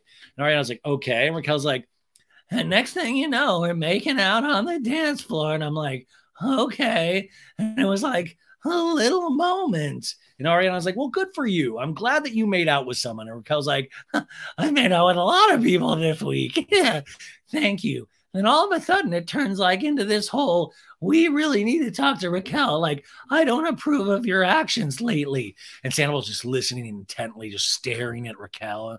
Lala goes, Honestly, Raquel, I wouldn't feel comfortable having you around my man. And Ariana raises her eyebrows. Sandoval gives a little grunt, like, ugh. And Raquel just, just star. She's like, and I said, oh, well, it's good thing you don't have one. Ariana cringes, but Sandoval smiles. He's like, yeah, dude, that's my new dumpling. Yeah. Additional footage from Peacock, Ariana and a talking head goes, Raquel has been on the receiving end of Lala's incessant barking insults at her for so many years. And we get a flashback series, 2018. We have a brunette Lala going, You fucking twat, yo. And then in 2018, Lala pointing her finger, going, I thought you were a fucking dummy before my dad died, you fucking Bambi eyed bitch. And in 2019, with Ariana looking on very sad, and Lala goes, You're a yapping chihuahua, yo. And Raquel's like, And you're a Rottweiler. We all know. And Lala goes, no, I'm a pit bull, bitch. I'm a Michael Vick fighting dog, which is a fucking horrible comment. It was horrible back then. It's horrible now. And Brittany goes, Brittany, Jax's wife is there. She goes, Y'all scare me. You did crazy. You scare me. You scare me. Ariana continues in a talking head, goes, If Lala's hurt by that statement, then she really can dish it, but she cannot take it. Um, and Charli in this scene goes, I think what happened was Lala's just embarrassed now. Her life didn't pan out the way eh, she thought it would. And, and she fucked the wrong guy for the money and didn't get a house or anything out of it. This is additional footage from Peacock. And Santa was like, she fucked her way to how high and mighty she was and surely enjoyed all the perks from it. Sandoval and I talking head goes, I'm not really seeing how Lala can even try to convince herself that she had the ground to stand on. I mean, Lala has openly bragged about sucking a dick for a Range Rover. And then a flashback of Lala going, like Jack said to me the other day, yo, go suck a dick for a Range Rover. And I was like, I was sucking dick for more than just a Range Rover. and then Sandoval continues in a talking head and enjoying all the perks with being with Randall. And he was still married to somebody else. I'm sure Randall's ex did not give Lala the green light. Another thing involving green light, green light, green. Sandoval loves green light as a, a word. He smiles. And uh, Charli goes, Well, it was the first time that Raquel got to like say, fuck you, Lala, without, you know, having anyone say it for her. Like, of course you condone it. Or I, I don't know what that means. But, you know, it's interesting is that this is going to be Raquel's triumphant season where she really found her voice. And it turned out this way. Sandoval just keeps intensely staring at Raquel. Like this is the kind of stare that you're like, uh, is this a Dateline episode? Why is that guy staring so hard? Charli goes, it's okay. We took an L, Lala. You know, Lala took an L. We're gonna keep going. You know, it's okay. You lost this one, and they all laugh. Um, uh, by the way, Juliana Croza didn't know what take took an L was. It took L as a loss. Um, the kids say that. They say WL, these crazy kids. Have you heard about Onel? um, the producer now is like, hypothetically, um, Lisa, you were being cheated on, and someone took you on a roller skating date to spend more time with you to put the effort into that relationship that he had already stepped out on. How pissed would you be? Because at this point, the next scene we're about to see, Tom is fully cheating, and Lisa's pondering it for a moment. She's like, "Oh, good question. Let me well, I'd probably have his balls crystallized and wear them as little earrings. That's what I would do. I, I, potentially would make it into a bottle and then try to stop you lean with it, Lane. I would have Nicola, I would give the balls to Lane, and he would make this beautiful steampunk clock that doesn't tell time and gives you nightmares. This is the beautiful designs of So now we're at this roller skating scene on Sunset. I didn't even know they had this. I like I live right by there, and uh, I didn't realize they had a skating like an, a roller skating. I can't do it because of my knees. Uh, but Sam was like, "Here we go, dude!" And I was like, "This is so cute." And he's like, "Right?"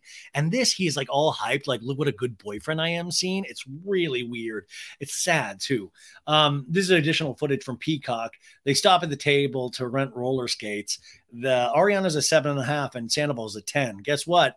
Your boy's a twelve, right? This guy, twelve.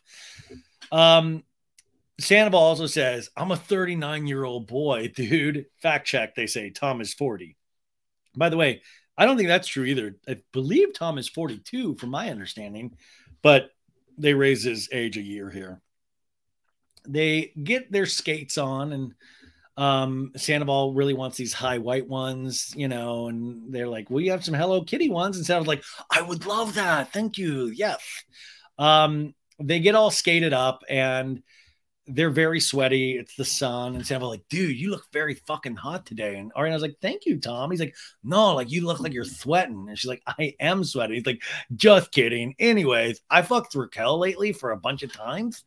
Ariana's giggling. She's like, I feel like we're going on a date. And I'm like, don't feel that way. Also, I want you to know, just for location wise, where that is, it's like less than one block from um Saddle Ranch, and it's across the street from where they were for Guys Night. So it's all in the same little pocket. Ariana goes, "We haven't been on a date so long and so long, and it's because he's been going on dates with other people." Sandoval's like, "It's been a minute, dude. You know, if, I feel like I'm always that Schwartz and Sandy. They're fucking Raquel, um, and uh, you know, and Sandoval's now sweating as well." And Sandoval's like, uh, having fun, Dumpling? And Ariana was like, well, last week was awful. And he's like, I know, dude. Well, in you. It's so crazy. They get additional footage from Peacock. They flash back to nine days earlier. Ariana is crying, leaving Vegas to go home for Charlotte. They keep repeating these certain scenes, and they do this a lot during seasons of All Housewives show. And I just don't know why. It's like I'm I, I have the ability within me to remember this scene. Like I understand. I don't need to be led down the primrose path. You know, you know what I'm saying? Um, uh, maybe it's just me. um, okay, Sandoval and talking heads like this is like the perfect time for Ariana and I to like reconnect and have these moments together. What a good boyfriend, you guys. Without the distractions of something about her sandwich shop and Schwartz and Sandy's and like me boning Raquel. Like, this is what we need. And Sandoval kisses her some more, like a lot. And um, Ariana, by the way, this is the around the time when he told Howie Mandel that he was trying to break up with her. Like, no, dude, like, Howie, you don't even understand, dude. So now they go skate. It's like this skateboarding thing. Tom does some cool moves, but he also falls. And Ariana says in a talking it, I think Tom and I have the kind of bond, you know, what we started out as friends. And that friendship bond is something that I feel like will help us be able to come back and like rebuild those fun romantic times now that we hopefully have more time together. But I think that these sacrifices we're making, even though they're hard, they're worth it because I want him to succeed when it comes to opening the bar, but I also miss being able to just really be together. Wow, that sounds like a pretty good relationship.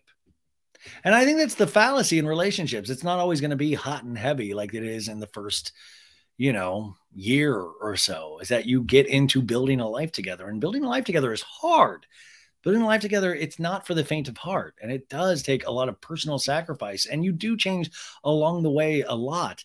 But that's the thing is that that's okay. That happens to so many people but you want to be able to then tell your partner at the time that you can't do this anymore and not do what tom did.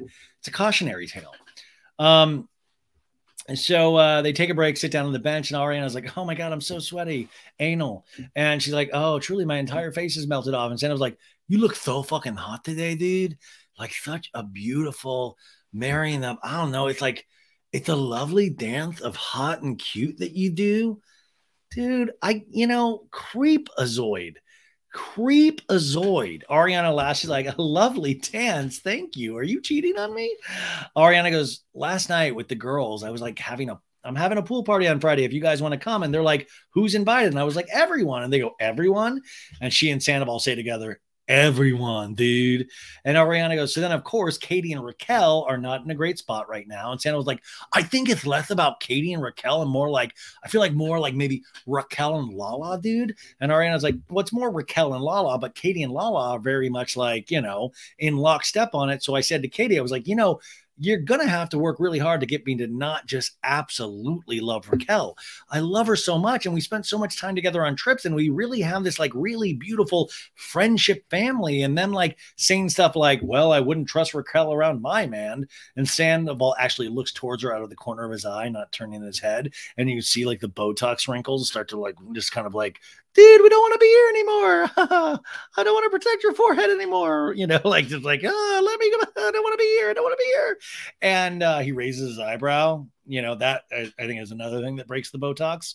And she's like, and I'm like, we've all stayed in houses together. We like it sucks that maybe you guys don't have that kind of friendship family that we have had the last few years with each other. Instead of like, dude, it's such a it's such a transparent love that we have. Like, all of us, like from Jesse, Jesse Montana, to like, you know, um, Raquel's vagina.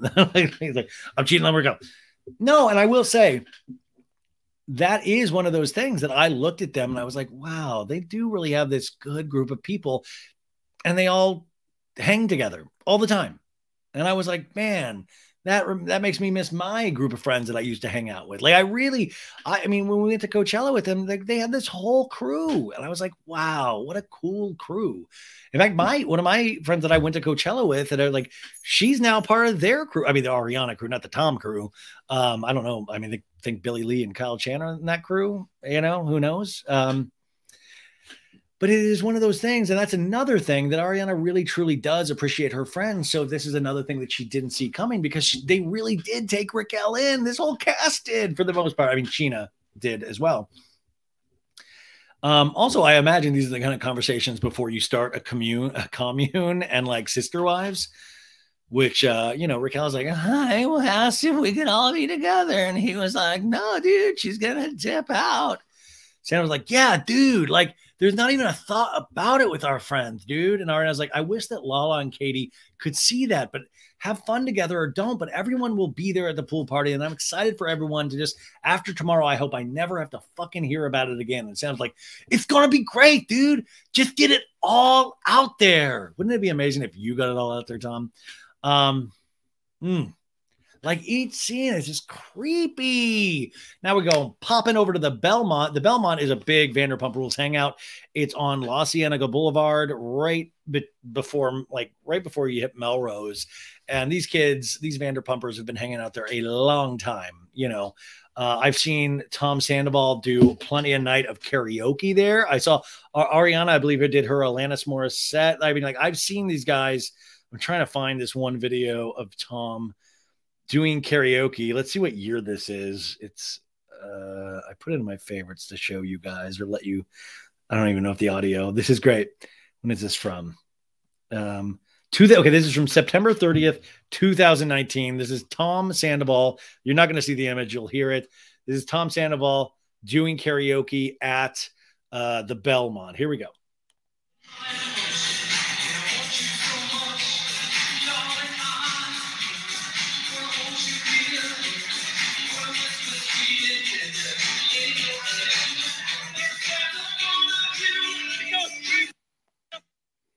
Keeps going.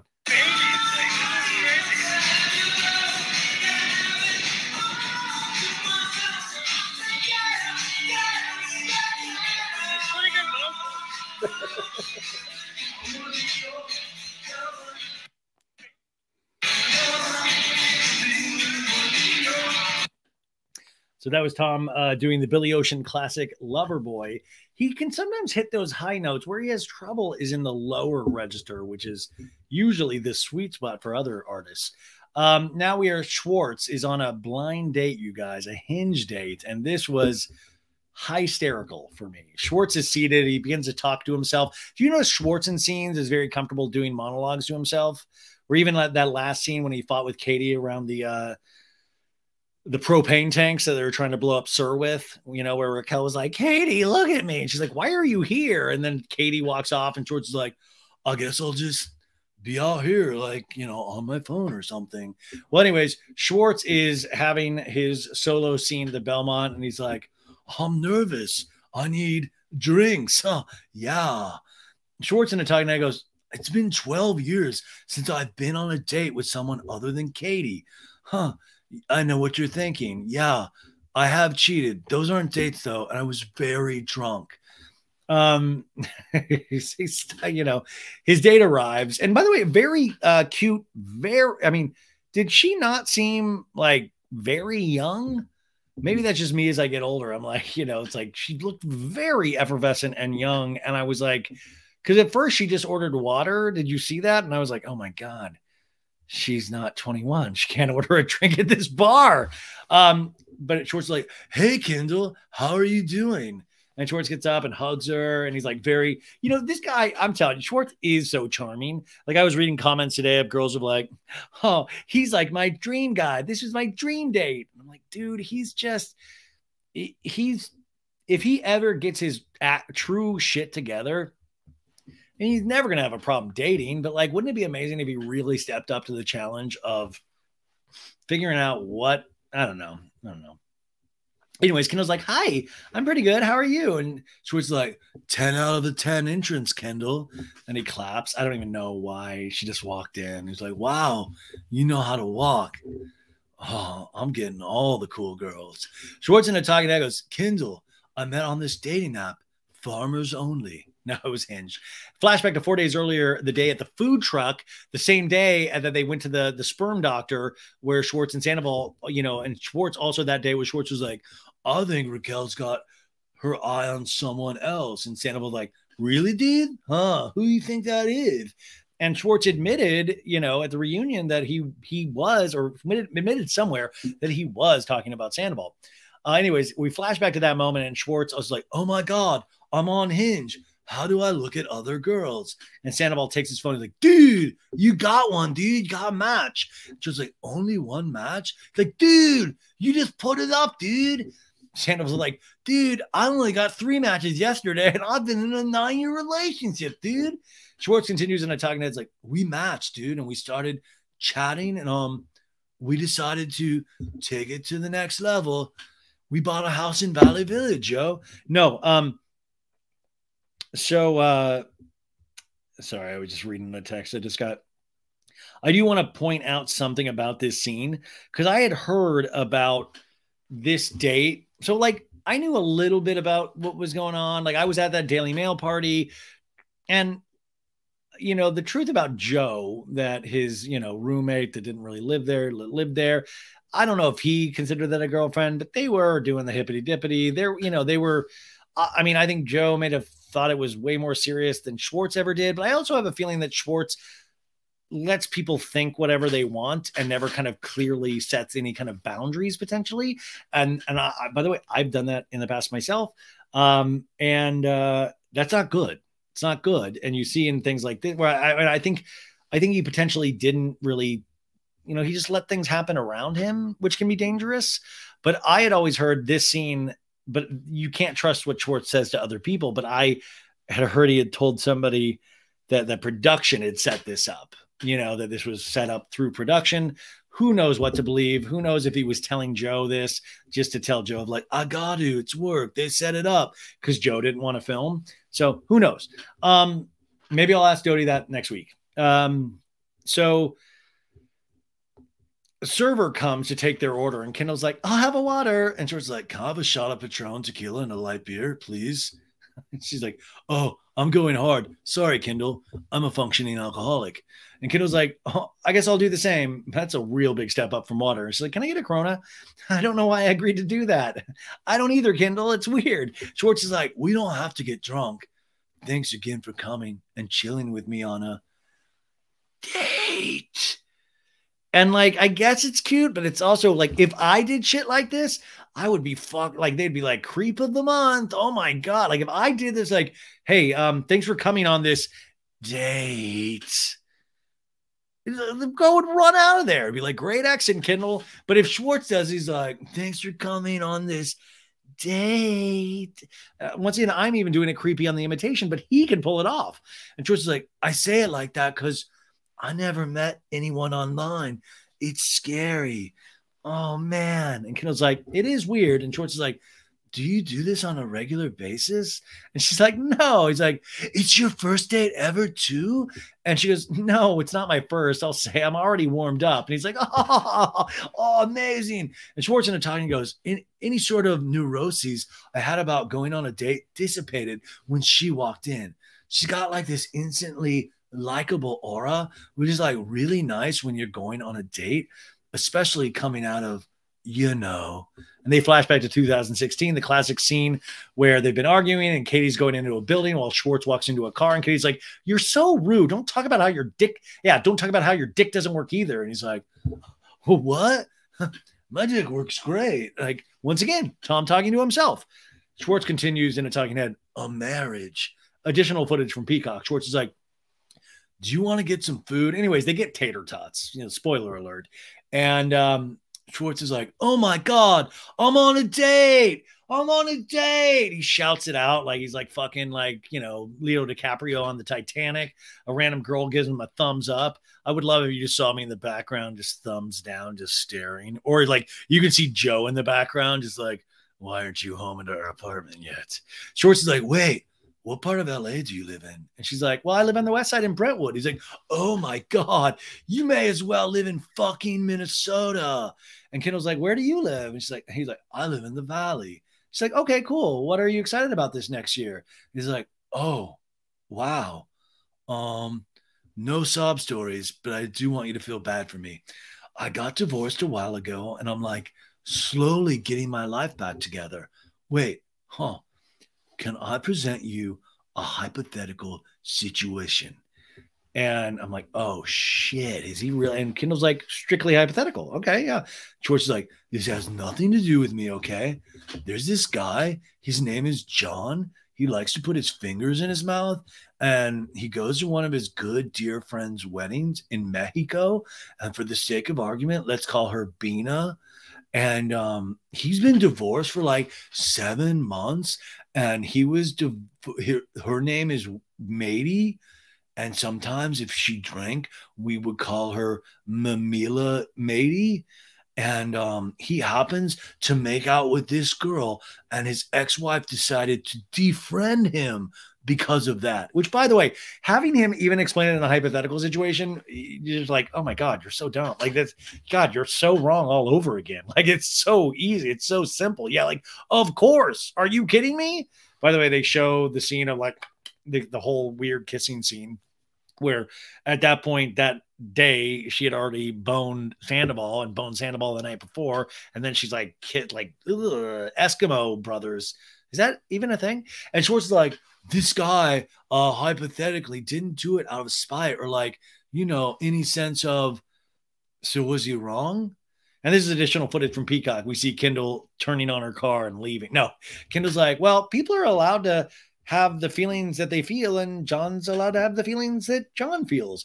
Kendall is a champ because, you know, I, you know, these hypothetical situations are always given to strangers that don't know any of the parties involved. So of course they're like, yeah, I mean, I, I, th- I think that all sounds, you know, fine and everybody's good. And he's like, oh, thank you. Oh my God. Oh, I gotta call Mady. Mady. Hey, Mamila Mady. I'm, I'm on a date. Um, and she thinks John should be allowed to kiss at Bina's wedding, dog. John got divorced. He didn't divorce, and it shouldn't be fair that person would put arbitrary restrictions on what John can or can't do. What what do you think about John? And she's like, um, it's like I I think that John's human. Well, what if I told you John is a cyborg sent from the year 3010 to save humanity? What would you think of that, Kendall? Well, I, I, I don't know. I mean, robot. I know, isn't it so stupid? I want Schwartz to do hypotheticals for everything. I'm like, Kendall, it's me, Schwartz. Anyway, got a new one for you. Um, okay, remember John? Okay, so yeah, John goes to that wedding, friend wedding, and then he kisses this friend, and like then the friend though that he's kissing is actually fucking John's best friend that he has a bar called John and John's with. And, but that guy's fucking that girl that John is kissing, but also that guy, John, John too, he's also in a nine year relationship, dude. And then hypothetically, I said they're boning, and then uh, John goes to Mars on Fox. What? so Schwartz and Italian goes, okay, I can admit I'm John. Oh, you know, Kendall strikes me as someone who has a strong moral compass. So I'm never going to see her again. so it's kind of validating to hear Kendall say that she agrees with John. Yeah, update your LinkedIn, doofus. Kendall goes, Well, I'm sure John would love to hear my opinion. And Schwartz is like, Apparently, he's really good on a first date. Anywho, oh, I forgot my wallet. Can you pay? Schwartz continues in a talking head. I'm not a douchebag. Hmm, not a complete douchebag. Wink. Schwartz is like, well, wait, this was fun. And Kendall's like, yeah, I think it's supposed to be. And Schwartz is like, Kendall, this is what people do. He's nervous, covering his hands on his mouth. And Schwartz is like, they meet online and they go and hang out and they laugh. And Kendall's like, yeah, hopefully laugh. I think that's the goal. And so it's like, can I have a hand job? No, he goes, yeah, yeah, yeah, yeah, yeah. And Kendall's like, I'm glad you're having fun. I am too. Should we go try to have a different drink somewhere else? And he's like, okay. And Kendall's like, okay, let's do it. And Schwartz like, my God. And Schwartz in Italian goes, I think it was a success. I had a great time. We laughed. She's super charming. We had a connection. Um, yeah, but then like why why you know she did seem cool, really young but cool. Why why didn't they like already better than Raquel? Like, yeah, what happened to this girl? That's why I think it was fake. But um, and also I think he was with Joe at this time as well. Schwartz is like, you know, it'll always be my first date after my divorce. That's just not true. That's just not true. Top line. Anyways, now a song plays. Anything else but cry. And Lisa's like, I wasn't suspicious that something was going on with Tom and Raquel. I kind of put it to bed. But the others that were in the group, they were suspicious. Um, and Lala, Katie, and Kristina Kelly are entering SUR, and Kristina's like, "Dinner's on me tonight, guys." Remember Kristina Kelly. I believe she was a manager at SUR, and I know she worked there for a long time. And Lala goes, Is it really? And Kristina's like, Hi, see you next Tuesday. And they bump into DJ James Kennedy. He's like, What are you guys doing here? And Kristina's like, We're having a little dinner. And Katie's like, You have a businesswoman special tonight? And James like, We can figure out something out. And it's like, James, you don't even fucking see people. You're a DJ. You don't even figure anything out. And Lala goes, Bye, Jameson. Bye. Good to see you. Enjoy. Guys night. And they the ladies get seated.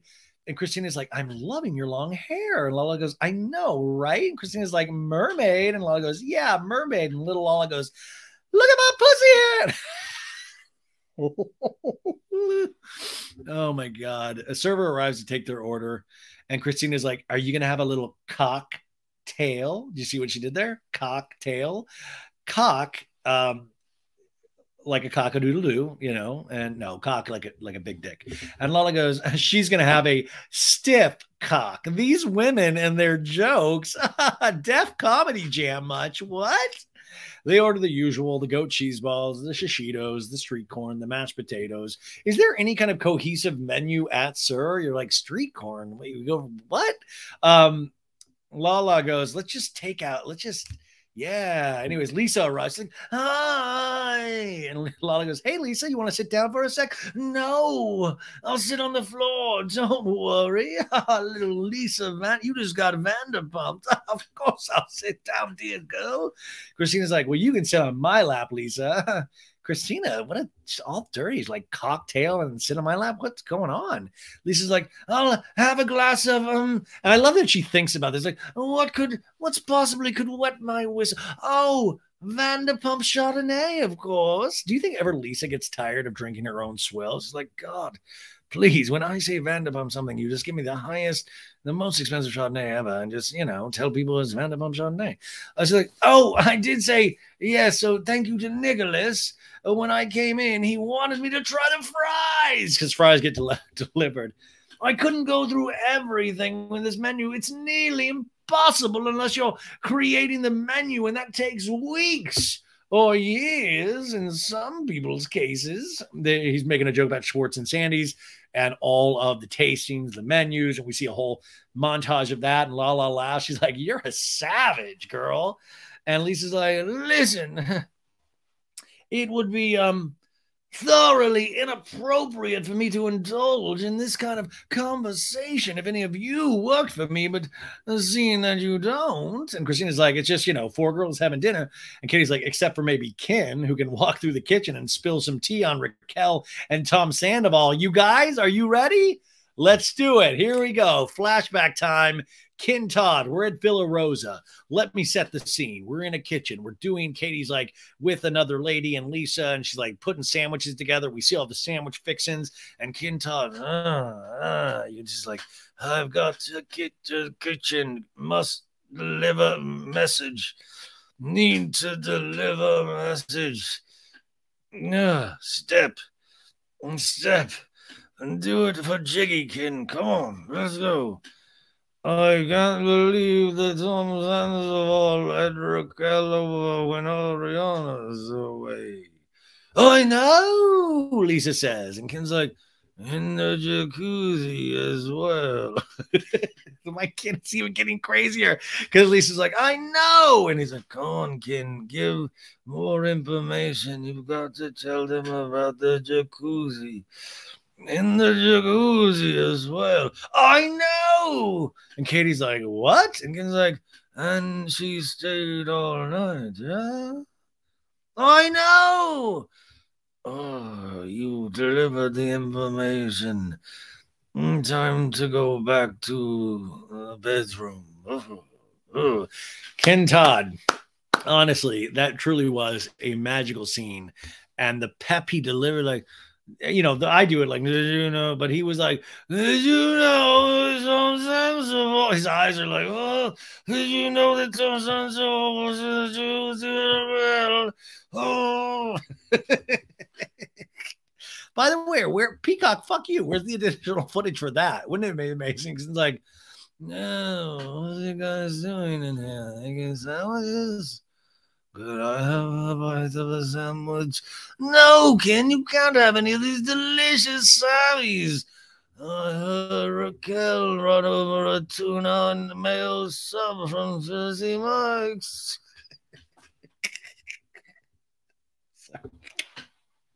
oh my god.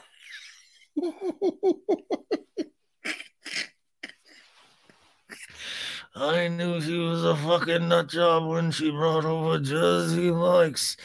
That's fucking insane. Katie goes, sorry, Lisa goes, I don't know. I, don't know. For me, having this gorgeous woman sitting in a jacuzzi when I was away, it's like a guy's a guy, right? You gotta feel something in the old cock and balls area, right? I love she's like, you've got Miss Malibu in there. Like, I'm sorry. I think Raquel is pretty, but I don't think there's anything fucking hot about her. I'm sorry. And I'll tell you what, the cheating makes it even worse. I'm like, wow, not hot and devious. Like just across, like I know maybe you girls think different. I don't know. I just don't see it. Who knows? What's wrong with me? And Katie is like, I'm like, Ariana, how do you how do you not care? This girl, like she drinks and like acts like in a way. They're talking about Raquel. And then she does it again. And Ariana's like, well, she's my friend, and she's like Tom's friend too. And I think she might be closer to Tom. And Lala goes, Did I tell you what's weird, Lisa? On the day Ariana's grandmother dies, Tom Sandoval's with Raquel all day. And then they flash Scheana's vlog footage of them partying at that um, what was it, the Labor Day party or something? And they were full on bone zoning by that time. Even Jax was at that party and saw it. Lala continues. Ariana was calling Tom furious, and he's like, "Okay, dude, I'll come home right now." And he didn't leave for another two hours. It's strange. Lala and a talking head's like, "Something's going on with Sandoval and Raquel." And then little Lala's like, "Dude, if I fucking get my if I get my lips on them, dude, fuck that." Lisa's like, Did you tell her that she wasn't chill that day? And Lala goes, She was not chill. Like, Lisa, what did you tell her that she was not vibing? Up top, down low, too slow. Lala continues in a talking head. I thought Sandoval was taking a break from drinking and what, so he could have healthy sperm to fertilize Ariana's eggs. We get a flashback to Ariana telling Sandoval not to drink or smoke for five days to donate the sperm because that guy had some weak sperm. And Lala still in the talking heads like, but at this Labor Day barbecue, I didn't see him leave the bar. This guy was pounding drinks. Lala goes, anytime you get that close with someone and then you're drinking, things happen, yo. A new scene brings Scheana and Raquel to Maker's Mess, a craft shop. Scheana's like, this is a cute little area. And we see yarn inside the store and many disco balls. Uh, I was waiting to see some like like yarn, like light, light lightning bolts or something. And she's like, oh my God, I see rainbows. And the store staff welcomes them and you know, hey, we got a resin jewelry workshop. And, you know, Raquel's like, I just spent $700 on a lightning bolt necklace.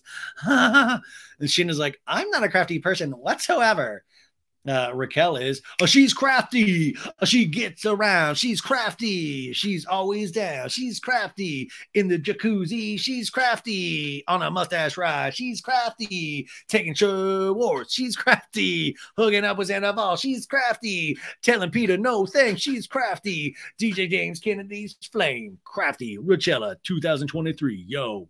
Um, store staff's like, you guys, um, you you don't have to have skills really. This works for everybody. You're gonna make a necklace and earrings. And she's like, I'll get started. Thank you.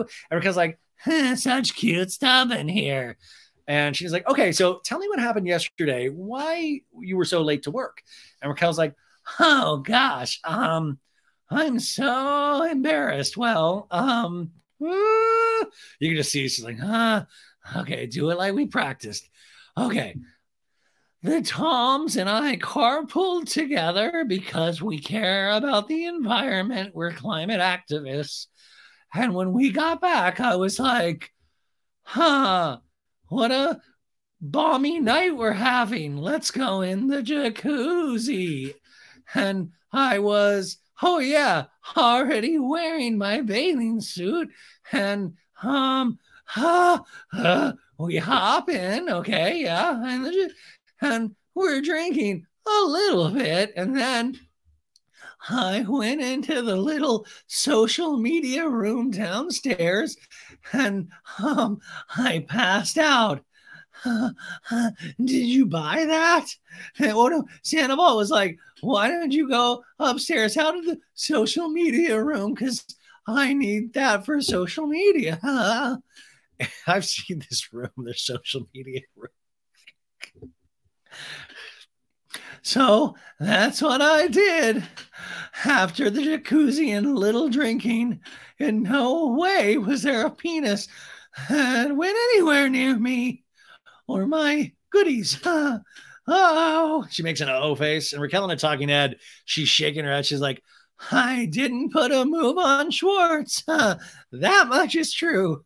Nothing of the sort happened. And then she throws in, and Nothing happened between Sandoval and I either. We had a fun night as friends. I was in their social media room and then I overslept. And she rolls her eyes. It's so fucking weird, man.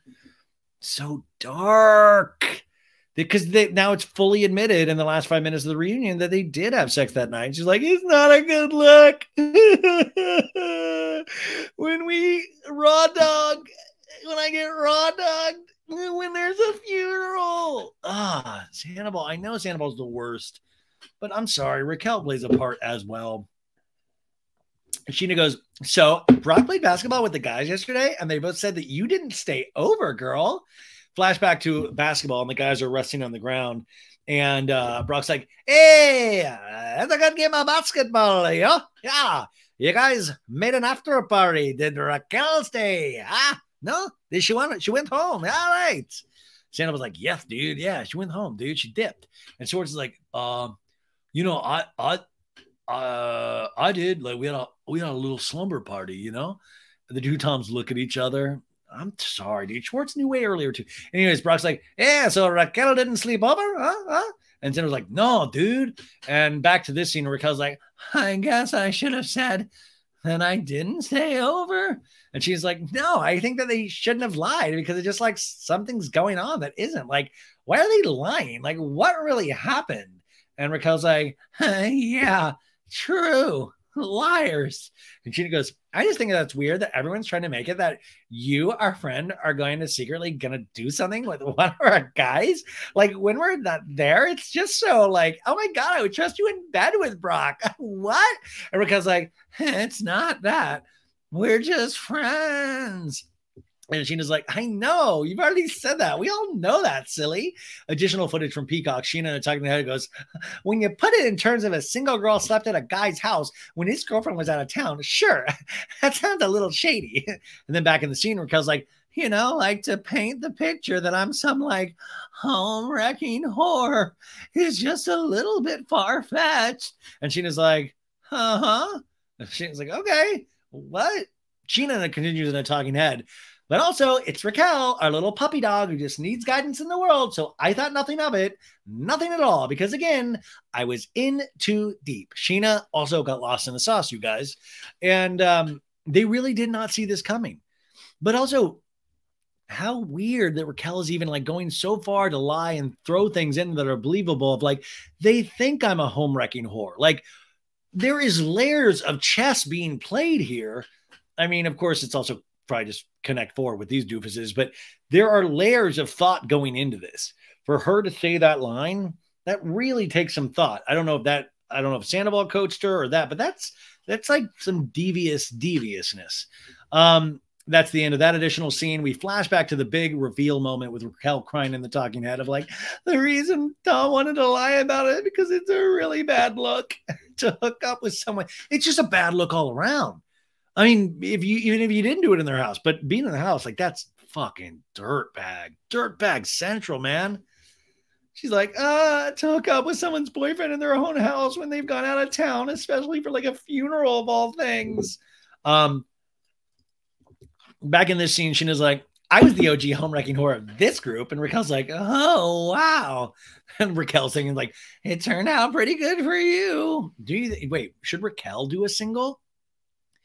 Oh my god because raquel could follow you like you're a home wrecking whore? And then you did. Good as gold? Huh. Interesting. I made it through the wilderness. I made it through trying to find out who Raquel was. I didn't know. I met Tom and then Tom. I met DJ James Kennedy. I tried every guy, even Oliver in Vegas, and I knew that I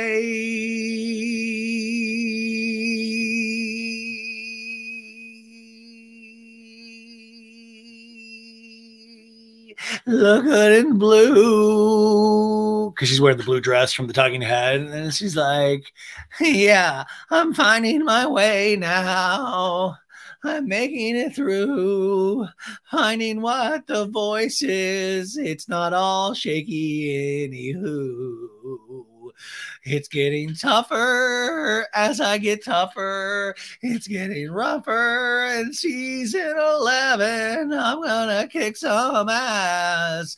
I'm out of mental health rehab and I'm gonna come back as Raquel. Who can you smell what Raquel's cooking? Gonna take everybody's boyfriends and maybe some girlfriends too. I found my voice, not a choice. I'm a star. I don't need your shitty boss, cause I'm a star. I don't need no fucking world with a mustache. I'm Raquel. Kiss me for the 39th time. I'm gonna kiss everybody I see. That's right, Guillermo. Come on, make out with me like a Raquel. Whoo, like a Raquel. Oh, feeling, just feeling so fine. Uh, when you go down on me and you kiss on me and you make out with me in your lover's when the grandma died. Ho, ho, ho. I didn't make out with Schwartz, just so you know. Oh, oh, oh, yeah. I hope I don't have to pay for the rights to that song. Anyways, Scheana's like, then came Lala, and now here you are. I'm passing the throne. And Raquel's like, ha, ha, ha, ha, ha, uh, by the way, Brandi Glanville saw this the other night and she lost it. She was, I think, drinking. It's like, OG homewrecking horror. How dare you? I'm just so through with all of this. Brandi, still, I mean, I just feel for Brandi Glanville so bad because it just seems like she feels like she's owed something and she just doesn't seem to handle things very well and it is weird because there's not a, like a really direct career path when you do the things that reality stars do. And I feel as you get older, it's not an industry that pushes you out, but you know, she did get pushed out of Ultimate Girls Trip because of Caroline Manzo because of her own behavior. And she's like, well, listen, I was encouraged to do that behavior. So it's like a really slippery slope, but you just sense when she's like night tweeting, you're like, dude, put down the drink. Come on. Like just let things happen. Additional footage from Peacock, Raquel's like, I'm so excited for glamping. And then Scheana's like, okay, who's all coming? She's like, Hugh and Brock, Tom and Ariana, Schwartz. And Scheana's like, so it's like a couples thing. And Raquel, who does a delayed snort, she's like, yeah, I'm pretty sure there's a tent with two beds in it. So if that's the case, then Schwartz and I would like, it would be a roommate situation because I'm fucking Sandoval. And she was like, and these girls are going to have a field day when they find out all of us couples and you and Schwartz are going glamping. And I was like, whatever. She was like, it's your birthday. You invite whoever you want to invite and we will all have fun together. And was like, yeah. Back at SUR, Lisa's like, Ariana and I have always connected about our love of horseback riding. We get a flashback to, listen, guys, do you want me to do this scene? Mm-hmm. Because I feel like this is one of those like so. I'm like, oh, and some people were like, oh, it was nice to hear Lisa talk about her broken leg and the horse accident, which is very serious.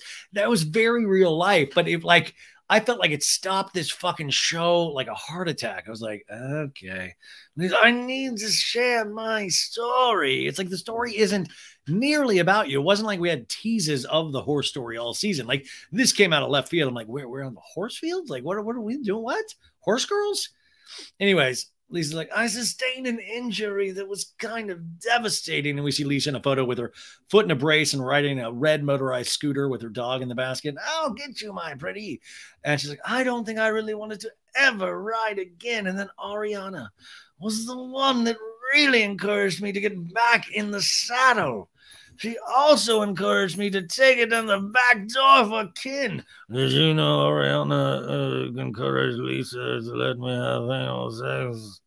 Um, they take us to the paddock where Lisa keeps her horse. Hi, buddy. Yeah, good girl. Um, Lisa's like, Have you been here long, Ariana? She's like, No, five minutes. And they show us the horse Tandon, and the sign on the, the stall says HRH, Prince Tardan. Sorry, Tardan loved by Lisa Vanderpump. It says loved by, not owned, loved by Lisa Vanderpump. Lisa's talking to the horse. You know, it's like, oh, obviously you've got hay in there, uh, like a man with a television. Ha, ha, ha, ha, ha. And Lisa's feeding, like, take these carrots. These are Vanderpump carrots. Nigga Lane made these carrots. Ariana is like, um, you know, just loose carrots in your bag. You just rock around with carrots all the time. And Tardan is a pretty white gelding, which is a neutered horse. People generally don't ride stallions, too feisty. And yes, that is a note from Juliana Carosa. I didn't know what a gelding was. Um, you know, and it, the mane is braided beautifully, turns around, accepts the carrots, um, and then uh, and then asks for a spinoff series. And so that is coming up. Tardan's Adventures coming to Peacock. Uh, Lisa's like, "Hey, Tardan, come on!" And Ariana's like, "He loves you. I know he does. He probably feels bad for the accident. Uh, shall I tell her what happened, Tardan? Well, let's go over here, shall we? He's eating his carrots anyway. Let's sit. Let's sit. Let's sit." I came to ride him, and as soon as I got him, and he felt frisky, he felt like kin after two G and T's, you know. So I, I kind of put him into a canter, and suddenly something changed in him. He like put his head down, he bucked, he reared, and I stayed on through that, and then he tripped, and I went over the top quickly, like bang! I heard my leg break, and then he jumped over me. And right then and there, I saw Raquel. Raquel was right there, Eh, pushing him on, making him buck me. No, Lisa attacking goes, I laid there on the floor and I knew straight away that I'd broken my leg. And my leg, I say, it was broken in four places, but it was actually broken in four places and shattered. Unlucky going over a horse at a gallop is something that can often end in tragedy. And Lisa Ariana's like, and that was 20 weeks ago, and now I don't know what to do. And they show us Tardan with his head out of the stall. Tardan's like, come on, Lisa, ride me again, boy. Ride me again. Lisa's like, I feel like such a failure. And Ariana's like, no, oh my gosh, don't feel like that. And Lisa's getting emotional. I do. I do because I'm always I'm a, I'm the person that always gets back on the horse. That's me, encouraging everyone. And here I am. I'm strong when it comes to life, but this is like, can I risk it again? Lisa Natagne goes, I actually haven't been riding since the injury, and I also feel like a bit of a coward not just jumping back on that horse and riding bareback around the ring. You don't gotta ride bare. Put a fucking saddle on. Like no wonder you're getting injured. Like I'm just gonna grab that mane and just bucking bronco, just my nude Lisa Vanderpump body, and I'll be like, nigga Lane, look at me. I'm riding Tardan again. I uh, just grabbed his mane bareback, Nicola Lane, Nicola Lane. Guys, I'm just going all out right now, man. This is the last Vanderpump of the season, so I'm going to get nuts. Um, Lisa and Ariana are walking around the riding ring, and Ariana's like, Do you hear that I enjoy anal? No, she's like, Lisa was like, It was right there. Lisa continues in a talking head, I've ridden many things in life huh, not all that I'm proud of, which I don't know. Uh, maybe check Reddit, but is this an admission of sleeping with Tom Sandoval? No, she goes, but I've never been thrown off before. That's for sure. Sexy jokes. Ariana is like, do you want me to go stand there and do something stupid to make a new memory for the spot? And he's like, Yes, make it memorable. And Ariana's like, Where is it? Like, it was about there. Yeah. And Ariana's like, I'm just uh, do, do a cartwheel. And then Ariana takes her pants down and she shits right at that that actual spot. And it's such a powerful scene. This is probably gonna get him the Emmy. No, it's like a cartwheel. And it's like, oh, you know, like, oh, I can ride again. Oh, you've cured me. Oh, amazing. And Ariana's like, I'll twerk on it. And she does. And you know, and it's like, I'll flip it off. It's it's cute. It's cute. It really, for me though, stopped the momentum of like, let's get back to this cheating bastard and this girl that is a weirdo robot, Raquel. Um, so Lisa and a talking head is like, when we picked up the cameras, you know, we uh, scanned, and tried to capture this huge fallout that had happened. You know, I need, I said, hey, listen, Bravo, we need to capture this because of Tom and Raquel's affair, there was just so much going on. You know, maybe a lot of people would have just let it die. But Vanderpump rules isn't like that. She literally says this. She's like, Vanderpump rules is not how we do it in Vanderpump rules. We're in the trenches. A lesser show, um, say, I don't know, uh, Real Housewives of Beverly Hills with that dildo Kyle Richards, you know, they would fucking call it a day. But here at Vanderpump Rules, we're here for the truth. We're here for justice. We're here for the American way. It's how we've always done it and how we'll continue to do it.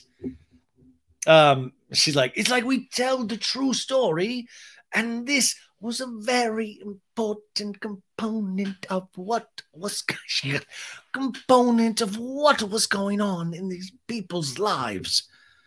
And it was our responsibility to tell it, to tell it. Did you know?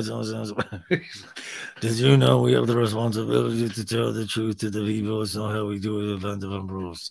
We catch up to DJ James Kennedy and Allie over in Miracle Mile where they live outside for a walk. It's March 9th, 2023. Post Scandal. Additional footage from Peacock. This was actually in the trailer for the uh, season finale. It just didn't make it. And James is like, he's like in this like kind of fall wear. He's like, I've got my lumberjack jacket on. He's like, Don't you love where we live, Ali? And Ali's like, Well, I'm kind of over it. I've been saying goodbye to it the last month. Like, I'll be like, I'm so grateful you for you, but goodbye. And James like, I know, I'm excited too. James in a talking head's like, I've been renting apartments in Los Angeles like literally for 12, 13 years. That's not true, actually. Remember when James Kennedy lived with that strange older man? And like what was his name? It was like, this is my friend John. He's a very hip, cool dude. We're the same age. And John would be like, hey, bud, can we hang out tonight? Like, remember that? Like, I don't think he paid for that apartment.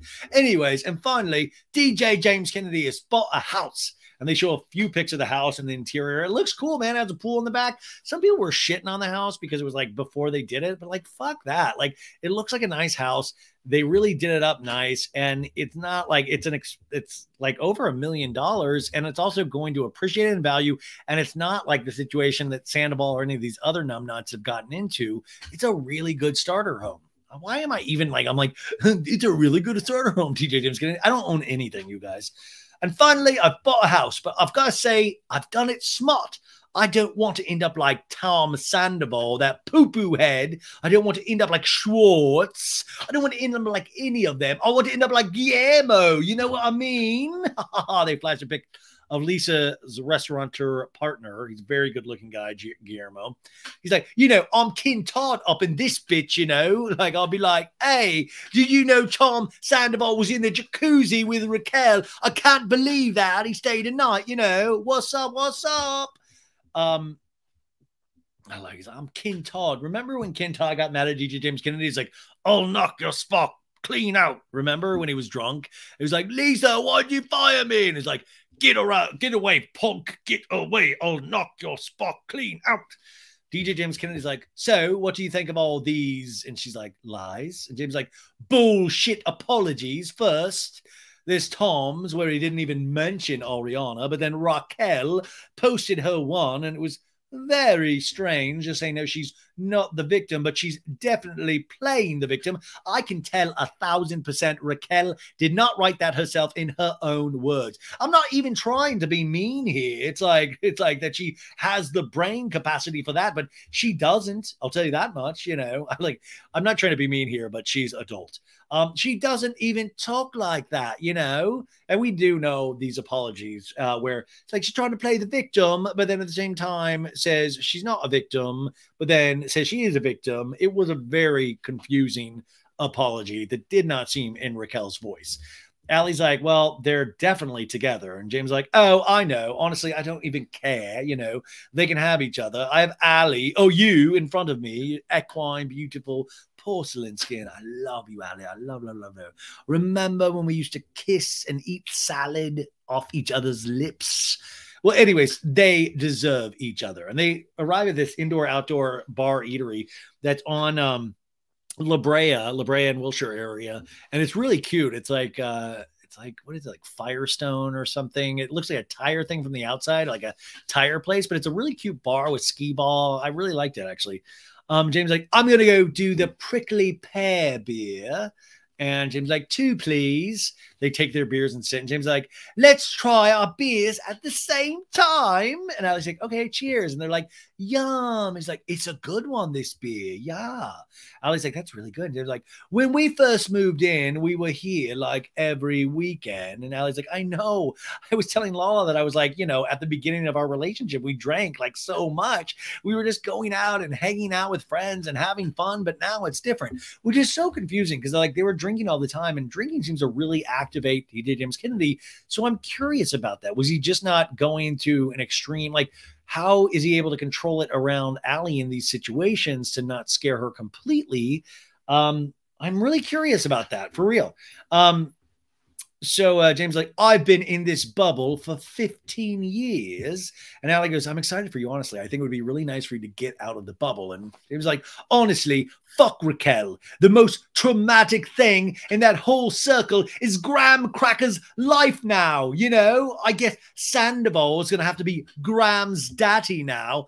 Poor fucking Graham, dude. Sarah McLachlan needs to like really come out of some sort of retirement. She's like, for just five dollars a day, you can save graham cracker. And you're like, in the arms of the angel. Na, na, na. Poor Graham got a puncture wound on his neck earlier this season on Vanderpump Rules. It was told to us by Raquel that he was trying to escape his kennel will never know the truth. The arms of an angel. Na, na, na. Anyways, they show us a picture of James and Graham cuddling, and Ali goes, He literally doesn't give a fuck about you. He hasn't even talked to you. At first, I thought Ali was talking about Graham, and I was like, Ali, dogs can't talk. And I realized it was Sandoval. He's like, he's been a fake friend. And James like, and I still don't believe it. Not Sandoval, like Judas. He says, he goes, Judas stabbed me in the back. I'm Noah, and he came to sink the ark. Man, that's not at all the Noah and the ark. Can you imagine? Can we do that? Can we rewrite the Bible with Vanderpump like fables of like Sandoval's ark? And Sandoval's like, dude, I want to take two hot girls of every sort onto this fucking ark, and then I want to make love to them like like a rock star, dude. Cause I got my mojo back, dude. Ali's like, I don't think that's right. And Jim's like, you get what I'm saying, you know, though it's betrayal. It's betrayal, Ali. And Ali goes, It might be. I don't know. James in a talking head. He's really amped up in this talking head. It's like, Sandoval, you're 42, you're washed up, you live in, oh, oh, oh, in a fucking beautiful home with a beautiful girlfriend, which you fucking threw away in the gutter for what? For what? An airhead bimbo? I mean, listen, listen. Raquel's using you just like you used me, okay? The apple doesn't fall too far from the tree, right, Sandoval? Noah's Ark, this and that. Uh huh, uh huh. It's so fun. He gets really going. He is so animated in his talking head sometimes. It's really star making. But I love that he's also like, because a lot of us have come to the conclusion that Sandoval has very much used Raquel and planted certain things in her. But in TJ James Skinner's like, no, Sandoval, she's used you. She's poisoned your mind, Sandoval. I know you're not like this. Really, it's really not true. Wild. And James like, and then Schwartz over here just playing dumb because that's the only thing he knows how to do. Graham knew more tricks than Schwartz does. You know, he knew how to roll over, how to sit, and then he knew how to play dumb as well. Schwartz is just playing dumb. But I will say Schwartz plays dumb way better than Graham Cracker.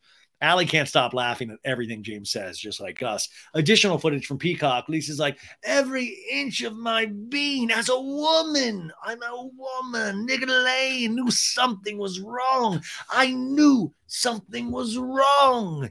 You do not get into the hot tub with Miss Malibu in a bikini when your girlfriend's out of town without something going on. I would never let Ken in a jacuzzi. Are you kidding me? I love that Lisa is like, as a card carrying woman, my womanly instinct. I'm like, dude, if you fucking knew, why don't you speak up to Ariana, dork?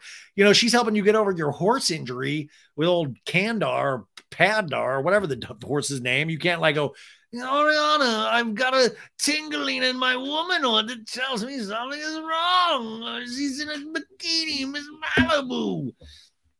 This is the final scene, you guys. Here we go. Final scene of the season. Gonna miss you guys. Promised I wouldn't cry. Uh, this is uh, takes place at Electric Owl, which is a bar restaurant, which is pretty good over on um, it's on Sunset and Gardner. Sunset and Gardner, the corner, which is also right by El Compadre. Love El Compadre. Katie is waiting for friends to join her, and Allie arrives like, "How are you?" And Katie's like, "Good. I'm a little hungover." We're having a little girls' night. And Allie's like, uh, "I saw the photo on Instagram. They show the night of everybody dressed in black. Ariana there. That was the night where they filmed with Schwartz talking to Ariana." and it was like the funeral for Sandoval. Uh, you know, Ariana was wearing gold. Scheana, her sister Courtney, Lala, Charli, Katie, Ariana, and Katie's like Ariana. She's uh, you know, as as you'd probably expect, but better, I think, because Allie asked how Ariana's doing. Lala arrives like, "What up, yo?" And little Lala's like, "Fuck yeah, bitch!" And Allie goes, "Hi, you." And Lala goes, "How's everybody?" And Katie's like, I was just telling her I'm a little uh, of a touch of uh, I have a little of a touch of a hangover, and Lala's goes, send that hangover to Daryl. Wink. No. Uh, Lala goes, I feel like we weren't that long at the bar. And Katie's like, I know, but I usually don't do shots. This is additional footage from Peacock. We flash back to the previous night at the bar um, when she sat down and said, Lala's like, when she sat down and said, Lala, you're a mistress and Lala adds a misfiring a like Lala, you're a mistress, and Katie throws down a shot. We're back in this scene, and Lala goes, I was hoping that with the shots it would be like a bonding moment for you and Scheana. And Allie's like, wait, Katie, are you and Scheana good? And Katie's like, I don't want to kill her anymore. And Allie's like, that's good. That's good. It's progress. It is progress, by the way. Katie and the Titan Head's like, Scheana has apologized for pressing the issue with Schwartz and Raquel. yeah, Scheana's like, please let me, please forgive me. Um, I can't even look at I can't make a fist with these nails. Look it, look it. Judge, look it, man. God. Um, can you imagine all the shit that happened? The restraining order, the remember, the the the black eye. I mean, all of the shit that we've gone through these last three plus months. Just think about it. What a journey that we've taken together. Anyways, Katie says she apologized, so my rage has subsided a little bit, and I don't want to murder her anymore. So I would say that is progress. And Allie orders a mimosa, Katie a tequila tank, and Lala orders the tequila tank without the tequila. And Lala goes, No booze in mine, though. I will burn this place down if there's booze in it, motherfucker. And Allie laughs, and Katie's like, Since we saw you guys last, there's been a ton. So much has happened. I mean, Raquel, she's filing restraining orders. She's posting pictures of her scrapes, and they show a picture of the infamous black eye and the scrape. And Lala's like, her eyes are always that black. And Lala goes, Katie's like, yeah, scrapes on her eye. What does James think about this? And Allie's like, he's really hurt by Sandoval. He a lot. I think it was just like, cool. He's not my friend and never was and never will be again. Noah's Ark, all that stuff, you know, Bible stuff. Yeah, yeah. Lala's like, then to see your friend to like look you in your eyes and know he's been sleeping with your ex's ex fiance. And Allie's like, Wednesday night after Ariana found out, they were texting. Like, isn't that crazy? Like, you know, she was texting with DJ James Kennedy that night. And he's like, it was like one in the morning. He was like, Night, brother, love you. Oh, wait, wait. Wednesday night after Ariana found out, they were texting. It was like one in the morning. He was, oh, Oh, I'm sorry. I misunderstood this. He, Wednesday night after Ariana found out, him and Tom were texting, and it was one in the morning, and he was like, Night, brother, night, brother, dude. Love you, dude. Oh, I love you too. Oh, I love you too. DJ James Kennedy signing out. I mean, that's dark, dude. Wait, so that night, Wednesday night when Ariana found out, Tom was texting with DJ James Kennedy at one in the morning while they were fighting. I need clarification on this. I don't think I'm getting this correct. Wait, wait, wait, wait. Here we go. Oh God, I forgot. They show text messages Thursday, March 2nd, 12:57 a.m. These were not shown in the Peacock version, which now that makes sense. Oh my God, Juliana, thank you so much because I just watched the Peacock version and I was like, I did not see this on the the go through. And Santa was like, dude, what's up? Hey. And Santa was like, are you still at Tom Tom? I'm here. I knew I got the times wrong. And James is like, oh, good, homie. I love that DJ James Kennedy's like, homie, you're so fresh, home zone. All right. Wait, so Santa was like, are you still at Tom Tom? I'm here. I knew I got the times wrong. I'm saying I'm here. I knew I got the times wrong. All good, homie. And Santa was like, Adam told me after the episode, ah, oh, I knew something was off, but I saw the videos and it looked amazing, dude. Oh, maybe because DJ James Kennedy played at Tom Tom after Tom went on or something like that. And sounds like, congratulations, dude, on the release, man. Night. So maybe I'm sorry, I, I'm still not fully getting this, but so Sandoval that night, after he had already been found out, was still keeping up this charade, charade of uh, that everything was good. And Ali goes, Meanwhile, we had no idea. And Lala goes, You didn't know yet? And Ali's like, No, we didn't know yet. And Katie's like, so Sandoval already had it out with Ariana, but he was still pretending like everything was, and I was like pretending like everything was cool. And I will say, Ariana said in the Call Her Daddy interview and others that they were arguing that night until like six in the morning. So during that, he was texting. He just so dude, what a doofus. Um, Katie, uh, Katie goes, yeah, that's what I think is the most diabolical part of it. They were covering the deceit for how long? The betrayal of it all. And Ali's like, the betrayal but it truly is like that's how good Tom was at like keeping things at a certain level where nobody knew. Where even in the midst of this nine year relationship falling apart, he was texting with DJ James Kennedy, like, "What's up, dude? What the, what's going on, dude?" Uh, Ali and a talking head goes, I was definitely surprised. Both Tom and Raquel both were able to keep it a secret for so long. My feelings were just like, holy shit, I don't trust anyone. Hold on to that next season, Ali. Don't trust anyone. They cheers with their drinks, and Ali's like, Well, we're so bright and springy. And Lala goes, So my whole thing is just making sure that like he's gone over. And Ali's like, Who? James? And Lala's like, Yeah, because they were planning a life together. He and Raquel were obviously like planning a life together. So now we're talking about Ali and James. And Ali's like, uh huh. And Lala's like, they were going to get married and have babies and do the whole thing. And like, it was very quick when you came into the picture. And by the way, I love that you came into the picture. I fucking ride for you. And little Lala's like, I fucking ride for you too, bitch. And then Ali smiles, like, thank you. And Lala goes, I just want to know that you don't have to deal with things in this relationship that he should have been dealing with before he got into another relationship. And now he's like, um, I'm really not worried. Uh, like there's really not a lot of stuff that gets brought up. I think it has more to do with the fact that like everyone has sided with her and he felt like he lost all of his friends. Um, that's interesting because DJ James Kennedy does seem to look at things in a very childlike way of like, you stole my friends. No, Lisa, please, Lisa, please. But it is interesting. And also, I do wonder about when the cameras are off that Ali DJ James Kennedy relationship. Is it as copacetic and easygoing as it seems? Who knows? Um, Katie says, well, it might be exaggerated or highlighted or brought more to the surface when, you know, he's around her, around the group, because that then it's like harder to ignore. And Lala goes, it shouldn't be. And Katie goes, you shouldn't ignore it or suppress it. And Ali goes, I feel like he just feels like how you guys feel. It's just like that deep relationship where he's been friends with Sandoval for so long and he hasn't even talked to him yet. And I think he just really feels like thrown aside. And Lala goes, right. Like he was just disposal the whole time. Additional footage from Peacock. Lala and a talking head goes, I don't think James is upset about this because of Raquel. This has everything to do with James feeling the highest betrayal. He really looked at Tom Sandoval as a brother which I totally, I mean, I didn't look at him as a brother, but I totally get that.